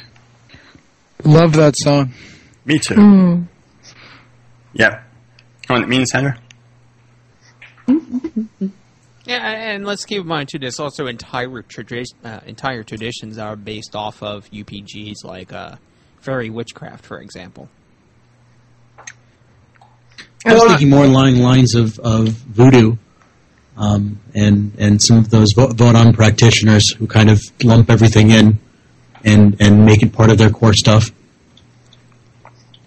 I know the more that I get into the native stuff, there's definitely a lot of not set things where it is there is no ifs, ands, or buts, but this is the way. But there's general, but it's also known that if you experience something and it's it's honest and true that there's something to it. So I think it's safe to say that UPGs are a intrinsic part of that culture. I was told by a wonderful woman who was uh, uh, practicing Lakota that basically said, you know, where would Sitting Bull be if nobody listened to the fact that he had visions? Where would Crazy Horse be if nobody listened to the fact that they had visions? So, you know, what's to say that your vision's any less relevant? So I would say that they would definitely embrace UPGs. Well, even um, I hate to bring it back to, to Christianity, but even even the the Christians have uh, you know seers and saints and and you know specific people who ha- who do have visions and do get you know direct phone lines to to you know something. So I mean, it's kind of you know e- e- even the most uh, uh, most liturgical of religions kind of um, do make exceptions to the rule. If you really look at it, though, all religions, like we're talking, one this little one over here is built on UPG, like the fairy trad. All religions have been built on a basis of UPG at some point or another. Yes, they have. Um, I'm sorry, did I cut you off? Yeah, but there's also some there's also some UPGs that like really get people you know kicked out of things. You know, like like Oh. you know uh, Joseph Smith and what he was doing. Um, Religions are based on you. Well, If you go to a big enough point with UPG, a new religion can be born, is what you're saying. And And born around the idea of magical underpants too. Yes. That's fantastic, yeah. But UPG is the exception that makes the rule. I mean, the, the fact of the matter is, that every religion is based on a UPG because if it's something that you believe in but cannot fundamentally prove, then you have to have faith in the existence of that thing. Um, I could have a UPG example that trees exist. I don't need to imagine that trees exist. I know they do. I can walk up, I can feel a tree's branch and its leaves, and I can tell other people, see that? That's a tree, and they'll say yes. There's no need for faith in the existence of trees. There is need for faith in the existence of things we cannot fundamentally perceive, and religion, taking the definition out of, um, uh, hang on, if I extract the word religion from its definition of a series of rituals and practices to, to define worship, and if I plug in the definition of religion as belief in a god or spirits or things like that, UPGs are a foundation of religion because you cannot verifiably, fundamentally, in a laboratory, prove that Jesus Christ, Ganesha, Apollo, whoever exist. We believe that they do. We have faith that they do. We have huge wars and arguments and debates over the existence of which God might be better than the other, but it comes down to undefi- to fundamentally undefinable faith. So UPG is the foundation of metaphysical religious belief.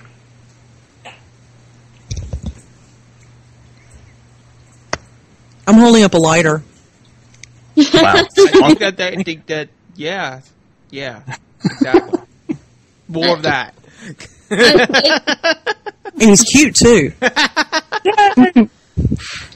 Now, i- if that's the case, though, when when does when or can UPG go too far? When you're being an ass about it. When you stop questioning, when you've gone When beyond the try- lore. And you try to convince others that your UPG is right. Well, I'm just going to talk on uh, David's uh, word there, gone beyond the lore. Now, I can even see how how strict uh, and uh, steadfast our own lore is, how good our lore is compared to the average. Our lore was written down by Christians, and it was changed. They're changed by Christians. So, is lore 100%? No you have to be able to play with it. To a point, it's too far, but you have to come to that point. Well, I, I would say, I, I would say my my dividing line. I, I'm I'm willing to be very egalitarian on other people's points of view because they're theirs, and I I have no business in somebody else's brain. You know, I wouldn't want somebody else in mind telling me how or what I think. You know, it's it's it's that same uh, reaction, negative reaction I have when, say, I, I see uh, a parent with a ill-mannered child in a in a store, and the kid falls and hurts themselves. And the as much as I want to be angry at the both the parent and the kid for for not acting well and letting the kid get hurt, I immediately have a horrible reaction to parents who say, "Oh, it's okay, you're not hurt." Well, clearly, the parent's not the one who who fell down or what have you. It's the child, and the child's experience is that they are hurt. And uh, so I, I have a innate want a need to acknowledge that other people's point of view and other people's experience is uniquely their own.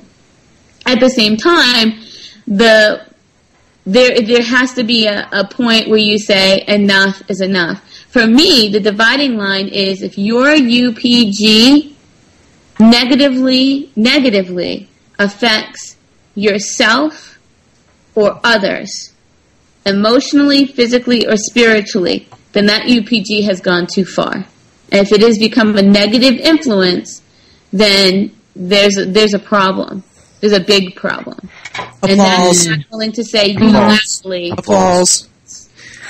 You know, people can't hear you clap. Why would Well- some I, I, I got a beef on that actually. Clapping. My, I, I, my my two cents is it, it's not so much the the impact a, as much as um, when when somebody says, okay, uh, Thor, it says in the lore, you know, Thor, red beard. He's got a red beard. It says that various different points. It's pretty much part of his of, of what he is. And so for someone to say, well, he doesn't have a red beard, that's what I mean when I say beyond the lore. There's a whole universe of other things that one could say, okay, well, Thor's got a long beard. Well, it's a short beard. It's a, you know, it, it's, you know, not exactly huge, uh, you know, items of, of impressive spirituality, but that's the kind of stuff that's UPG land that folks can go, you know, go make statements about, and it really isn't going to, uh, you know, be a boggle in my bonnet. Right, for- but but saying be, I'm sorry, I'm going to cut you off for a second there. When when you say gone beyond the lore, that's a it's sort of like saying there be dragons, right? It's not clearly defined enough. I've got no problem with the statement in and of itself, but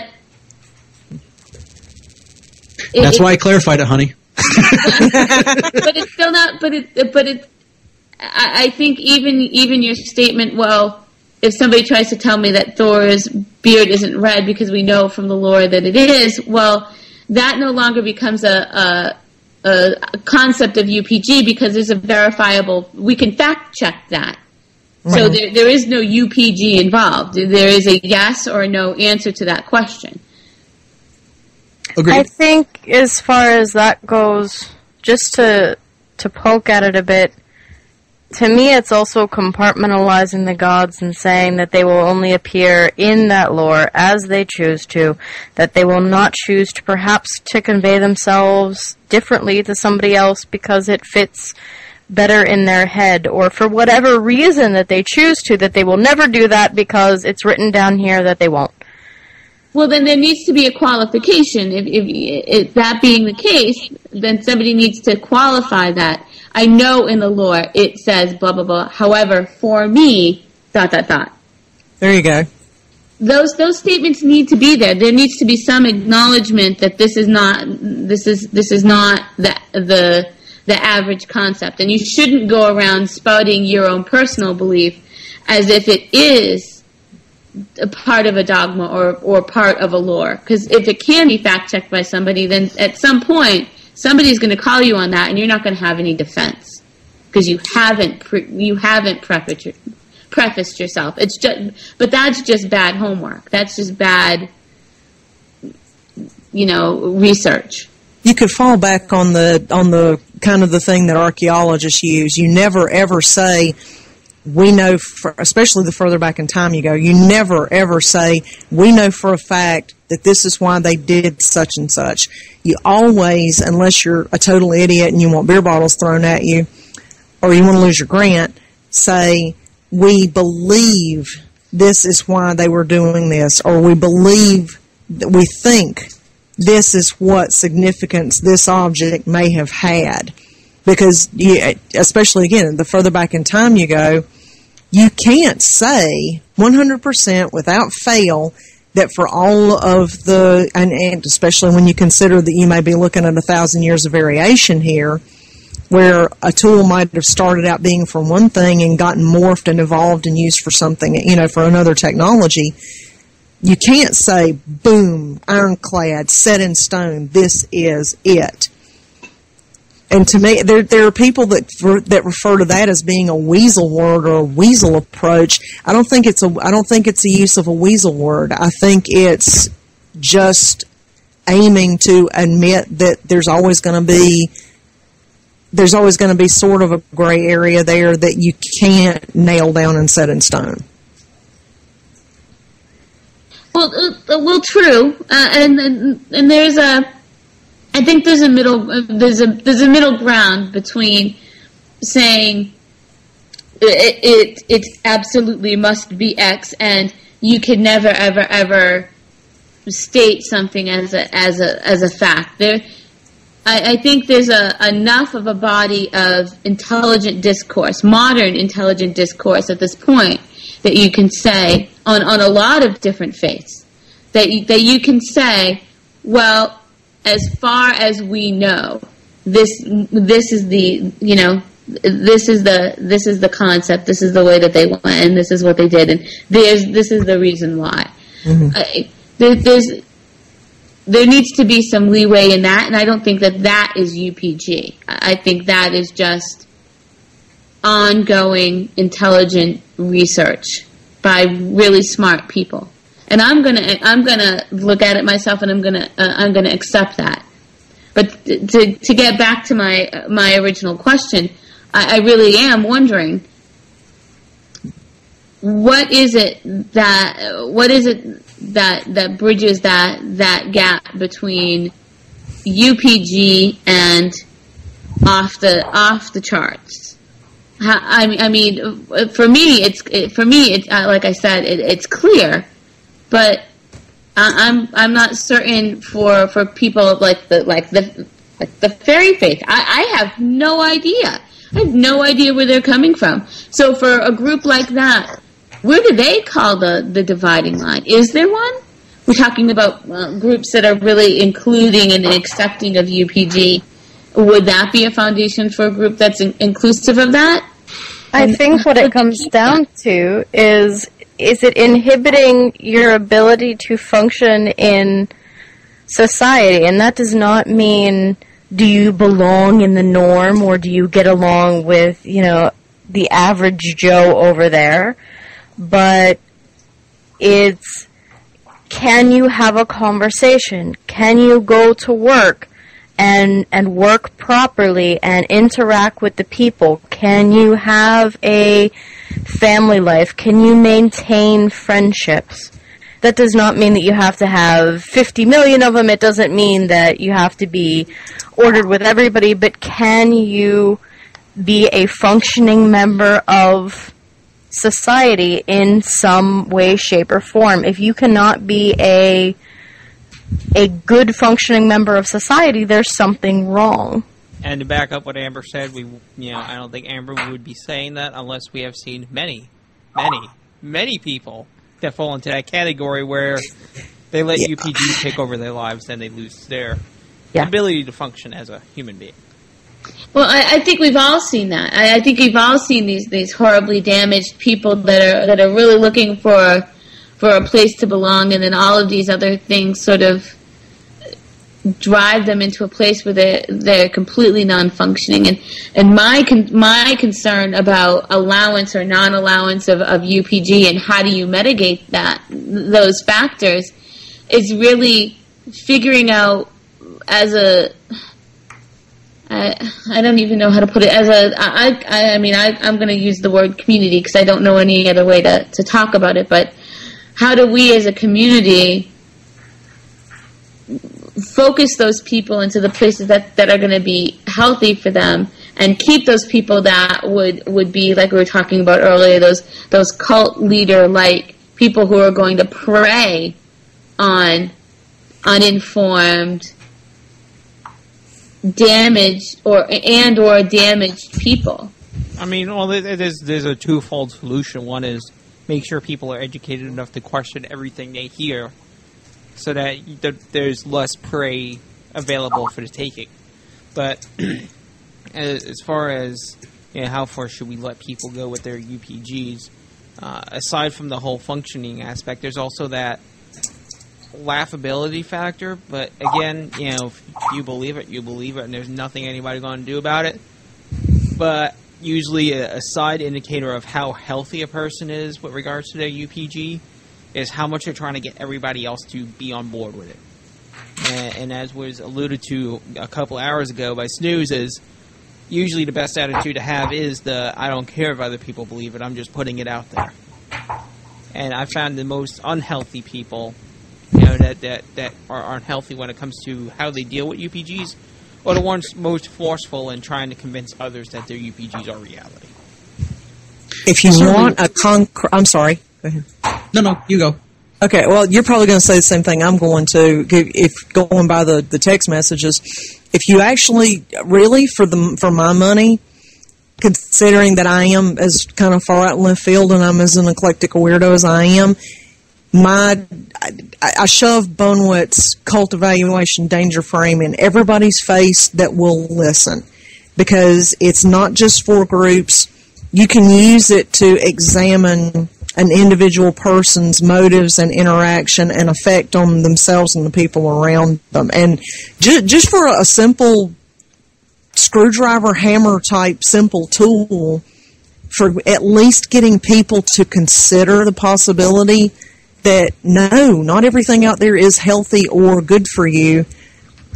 And there's a difference between struggle and trial and adversity that makes you grow and crapping in your own sandbox or cutting off your own nose or worse.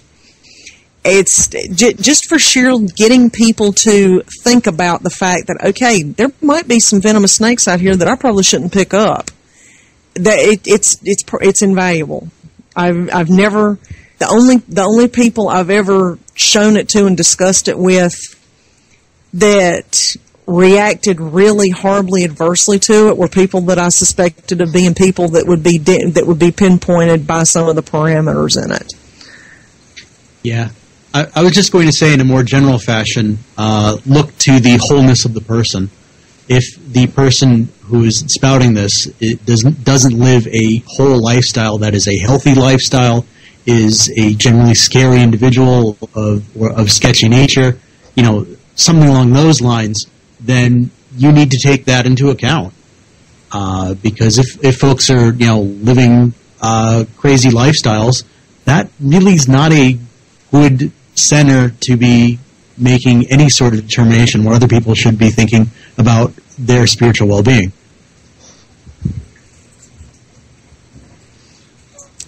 especially if they're trying to suck you into their crazy. And it, that's touching on something you know that you were talking about a minute ago. I consider that to be the in addition to the when has the UPG gone too far. Um, in addition to what you were saying earlier, the thing about that, it seems to me that you're right. People that are unbalanced or unhinged in a bad way seem to want to pull other people in with them because they have no stable they don't have any stability. They don't have a center point or still point to work from. And it's like they're trying to pull other people in to stand on to borrow to create some type of stability but it's not going to happen that was rambly i'm sorry No, It's it was, a, okay. it was a point I wanted to have discussed. No, I didn't think that that was rambly, and I, I, I agree with you. You know, you, the sorry, Scary people are scary. Well, and and is is it? Uh, I I I.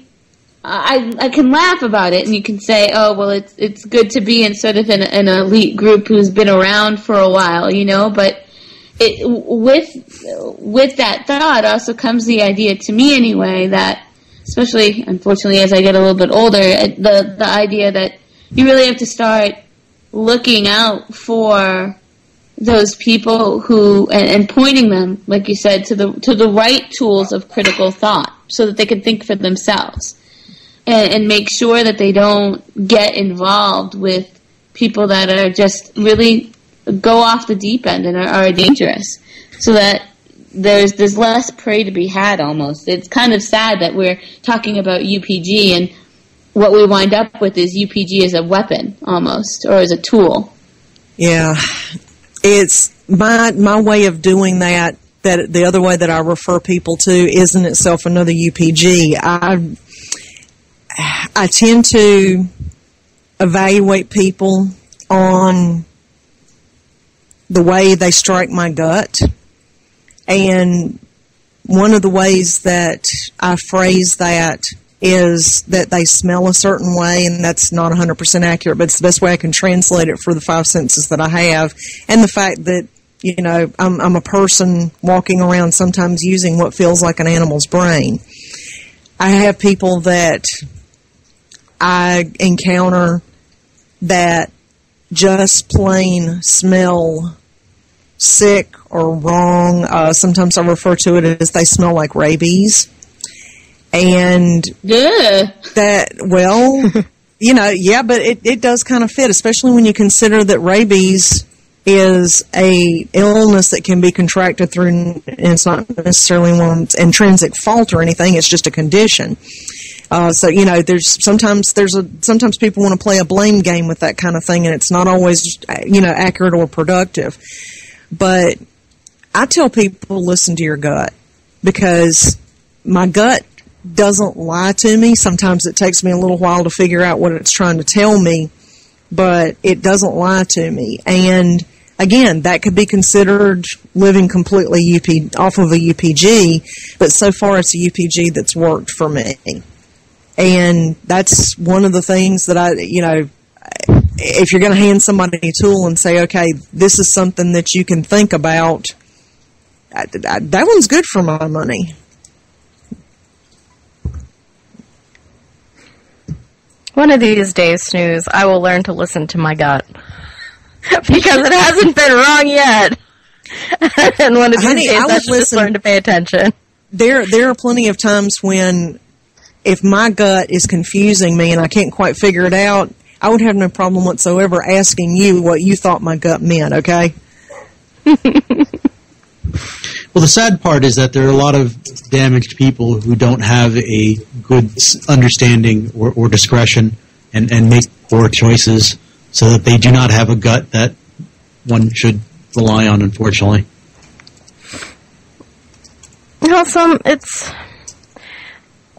the more that yeah, I think that this is part of the reason that I get along with the PCP crew is that it takes a certain level of introspection to be able to tell the difference between what is emotional need and what is gut feeling. And it's hard. Even if you've done it for years and even if you are a, a well seasoned individual, that's still something that's difficult. And if you have somebody of a low emotional intelligence or a low social intelligence, they, you know, they act, they act in social situations like a 12 year old and they don't have that gut instinct because they don't understand it. True. I make jokes that one of the reasons that I say I was born a crone is because I've just it's always just been there and it's you know it's not something that I had to teach myself or learn how to do. I kind of just fell into it. The one thing, um, Dave, you had said earlier about you know if they live a weird lifestyle, just to just to clarify a bit because it's been bugging the back of my head. It, it's not necessarily to say that they live outside the social norms because there are wonderfully enlightened people that decide that they just want to wander the woods and, and go on foot and they just travel places and live in campgrounds but they're still is their lifestyle extreme yeah it's kind of out there there's some really really interesting people out there but they're still functioning. They are not delusionally happy but they're very content people. And a- they're they're There you go. Here's a heuristic I use in my daily life, and more or less it goes like this: If myself and somebody else see something, okay, and he's, some of us are more aware to people in my daily life than I like to admit, but if myself and somebody else see something, and we are asked to describe it, is it going to be kind of sort of the same as my definition of sanity? Well, true, and also people who choose to, to go out and wander in the woods aren't harming themselves or others either. I look at it this way: every choice you make has lots of ramifications, and if they decide they're going to get maximum enjoyment out of their life by wandering through woods, yeah, there's probably some trade-offs, but that don't sound too bad. I've thought about it once or twice. Well, I mean, my, my point was kind of that there are definitely a lot of people that if, even now, if you say, oh, I'm going tent camping, what's wrong with you? Don't you know that there are, are ticks out there and there are spiders out there and there's poison ivy out there and, and there's no air conditioning and you can get heat stroke and they're, they have all of this worry because to them, that's putting yourself in danger. If you drive an automobile, you put yourself in danger. I know this, love. Mm. Or was- in an RV with scurvy. You might not be it was just kind of saying like if their lifestyle you know if the first time you see them their lifestyle brushes you off as strange and unusual unusual. Take it with a, a grain of salt and look at it a little bit. Like dave Carron has a very very very good point. I just wanted to temper it just a little bit Well, I have people that think I need to be locked up and, you know, put in some kind of a therapy or whatever for some of the crap I come up with. My my usual two cents on that is the first of all the standard disclaimer. If you actually have the presence of mind to ask yourself if you're crazy then you're probably not. Second of all if i'm if the only person that is affected by the way i do things is me it doesn't really matter whether i'm crazy or not now if i start dragging other people into my crazy with me and you know okay, beyond making people go sit in the corner in the kitchen, not talk to anybody else, and stare at this weird dead thing. beyond, if I'm Well- affecting, if I'm affecting people outside my sphere in an adverse fashion, you know, yeah, there you go. But people that elect to go walk around in the woods and be hermits are not affecting anything other than themselves. If I go camping and some, and yes, I do have a cousin that thinks that that's not only, she thinks it should be criminal negligence to take if someone takes their children camping. Um, then yeah, she thinks I'm nuts and I need therapy or whatever. But as long as I'm not forcing her to come camping with me, bupkis. Do people still use that word? Uh, it's I do. used on uh, NPR. Oh, okay, cool. That works for me. Now, and, and see, that comes back to that. that to me, that says that you, you, in a way, agree with, with my sentiment of you should not. You the the dividing line for any of this is: Are you harming somebody else? Are you putting somebody else in harm's way? And are you putting yourself in harm's way? And when I say harm's way, I don't. I, I mean beyond the pale of, of acceptable risk, right? So driving a car is acceptable risk. Deciding to take a walk out on the highway, probably not acceptable risk. Um, there are some school districts that would beg to differ with you. depends Yeah, there on are the in Pennsylvania. Actually, they're, there's they're all over the place. You read about that every once in a while. Frederick County is that way.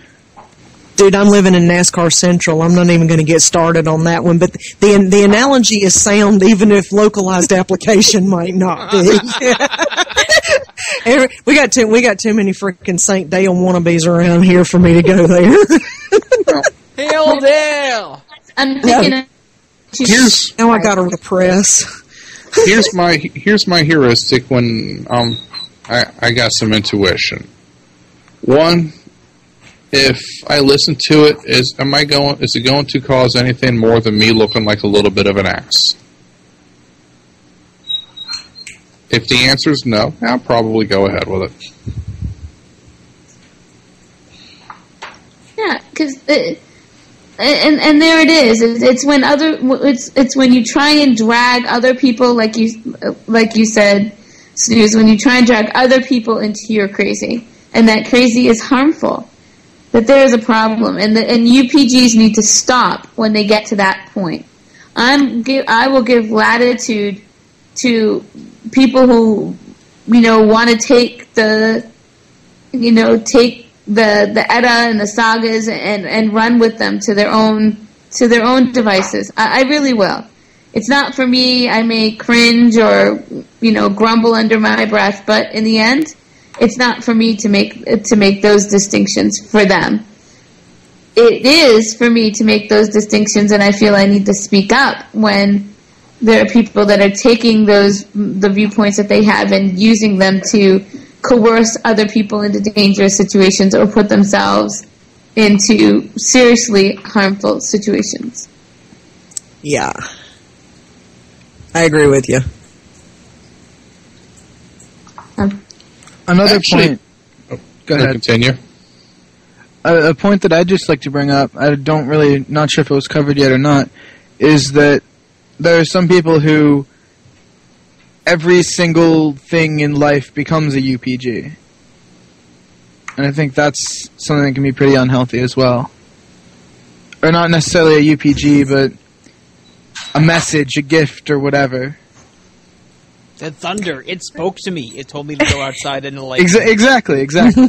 well, uh, well, and that's when you that's when you get into the to the the section of, of my commentary where where you know it it may not be physically or spiritually harmful, but it certainly is emotionally or mentally harmful to con- consistently live in a, a delusional state. Right? Isn't that schizophrenia? Mm-hmm. Yeah, Right. at least borderline.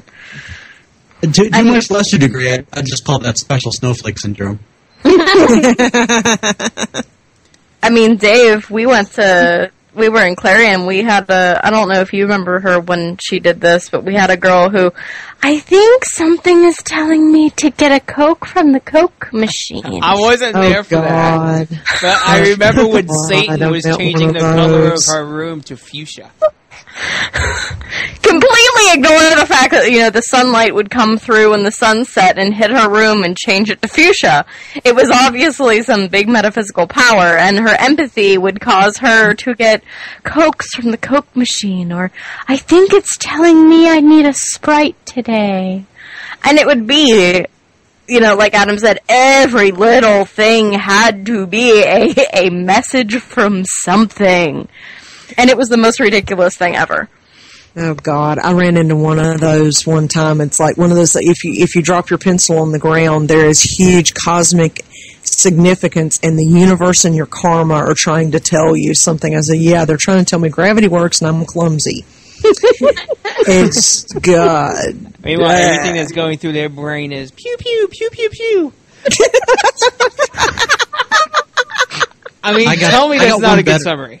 I, I got one better. I, I was in a internet chat room, one, one of those uh, those. The uh, internet, the bastion of sanity and sane conduct. oh yeah, exactly. And there was a whole back and forth, you know, troll war. And one guy was like, "Wait, wait, let's bring Forseti into this." I'm like, "No, no, no, no, no."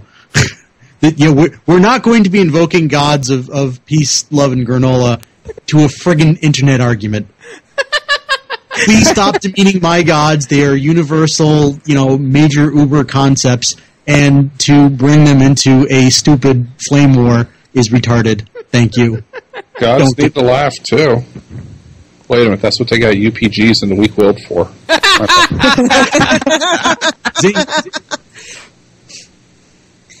Speaking of which, Amber, I got a link for you later. Oh no. I've learned don't click his link. yeah, Scurvy is You're still looking like he's still afraid every time we meet a heathen that like somehow they're going to get even with him for that that you know that, that whole thing. That's not UPG. That's evidence. I, I, I've, I've accepted that one day I'm going to get my head amputated by a hammer. It's all good. You'll never know what hit you. It's hammer time. Oh God! Okay, moving beyond the Ozzy jokes. Hold your hand out so I can slap you for that. All those opposed to gratuitous violence, please turn their heads. Oh, Dave's on a quest to Dave's on a quest to inspire me to drive to uh, Texas. yes, I am. Don't worry, I know his RV doesn't have an alternator, and he only has so many batteries. God. Oh,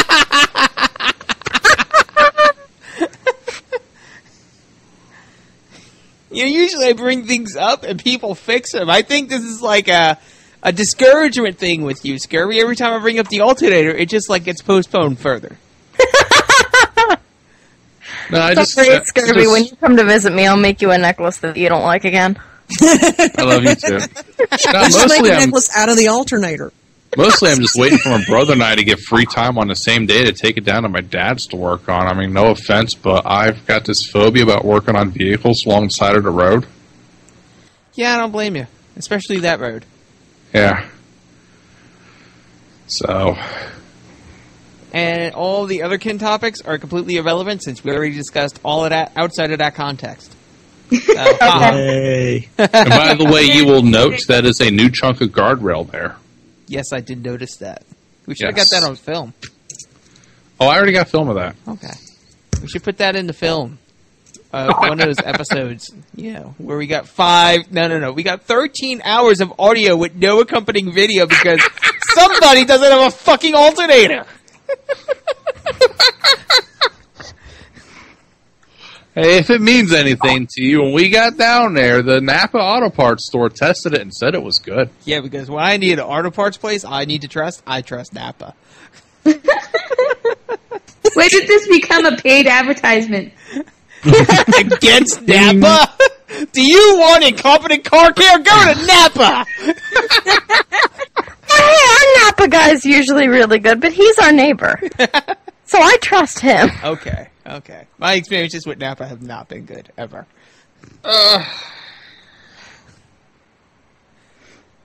When it comes to auto parts, um, normally I'm under the philosophy if I have to test the alternator, just replace it. Does anybody else have any uh, personal gnoses about auto parts before we move on?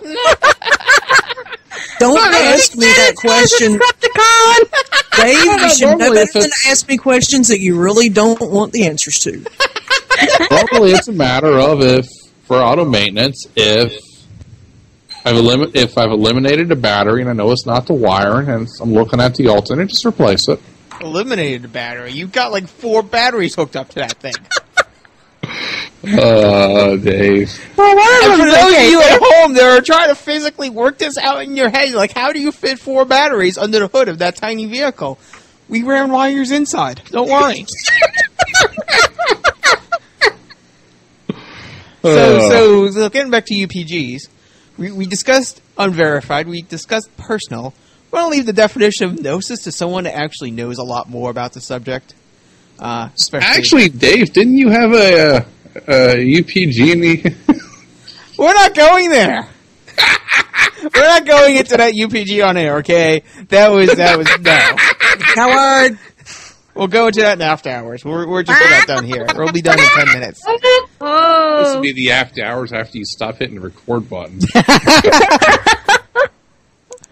Yeah, I don't want that blackmail. Um, so so if you want to know more about gnosis and the depth of gnosis and all that fun baggage that comes with that word, uh, you can listen to Secrets in Plain Sight, episode 252, Knowing Gnosis. And now we're going to go into final thoughts.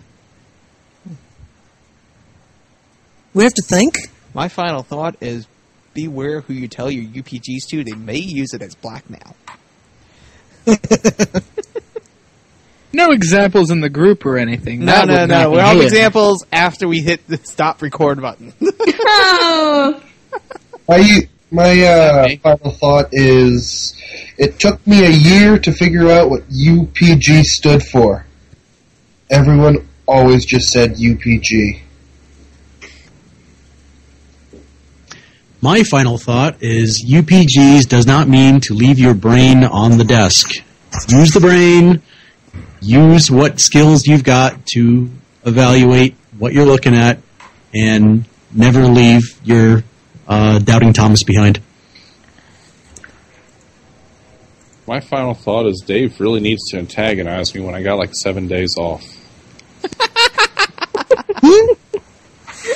Hey, I'm still needing one more person for PNC Texas.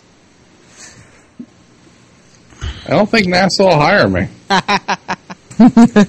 I think they're downsizing right now. No, no, that's only with contractors. I think they'll put My up- final thought is use your UPGs for good, not evil. Aw. Damn It's fun. I'll never get anything done.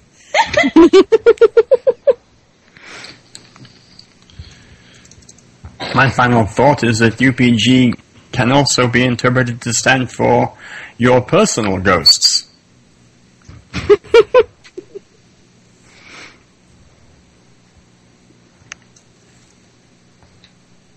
I don't really have that much of a final thought this week. I'm kind of fried. Okay. Amber's okay. kind of fried. That's her final thought. Amanda, I know you said so much this episode. Did you want to have a final thought? Sure. Um, trust your instincts with a lot of these things. A lot of people for um, question themselves and what's going on too much. You know, sometimes what's in front of you really is in front of you. Is that everyone? Did we get Adam? I don't really have one. Okay. You're no fun. I've been quiet this episode. Well, that does it's it for, for this recording of PCP, the Pagan Centered Podcast. We'll be gone next week. So join us the week after that where we're talking about something. Check out the Facebook group at facebook.com slash PCP Podcast to figure out what the hell that something is. Thank you. Good night, everyone. Nice. Good night. Okay, recording is now ending. Yay, something. Now, no. Okay, do we really want to know what my UPG was? Yeah, absolutely. So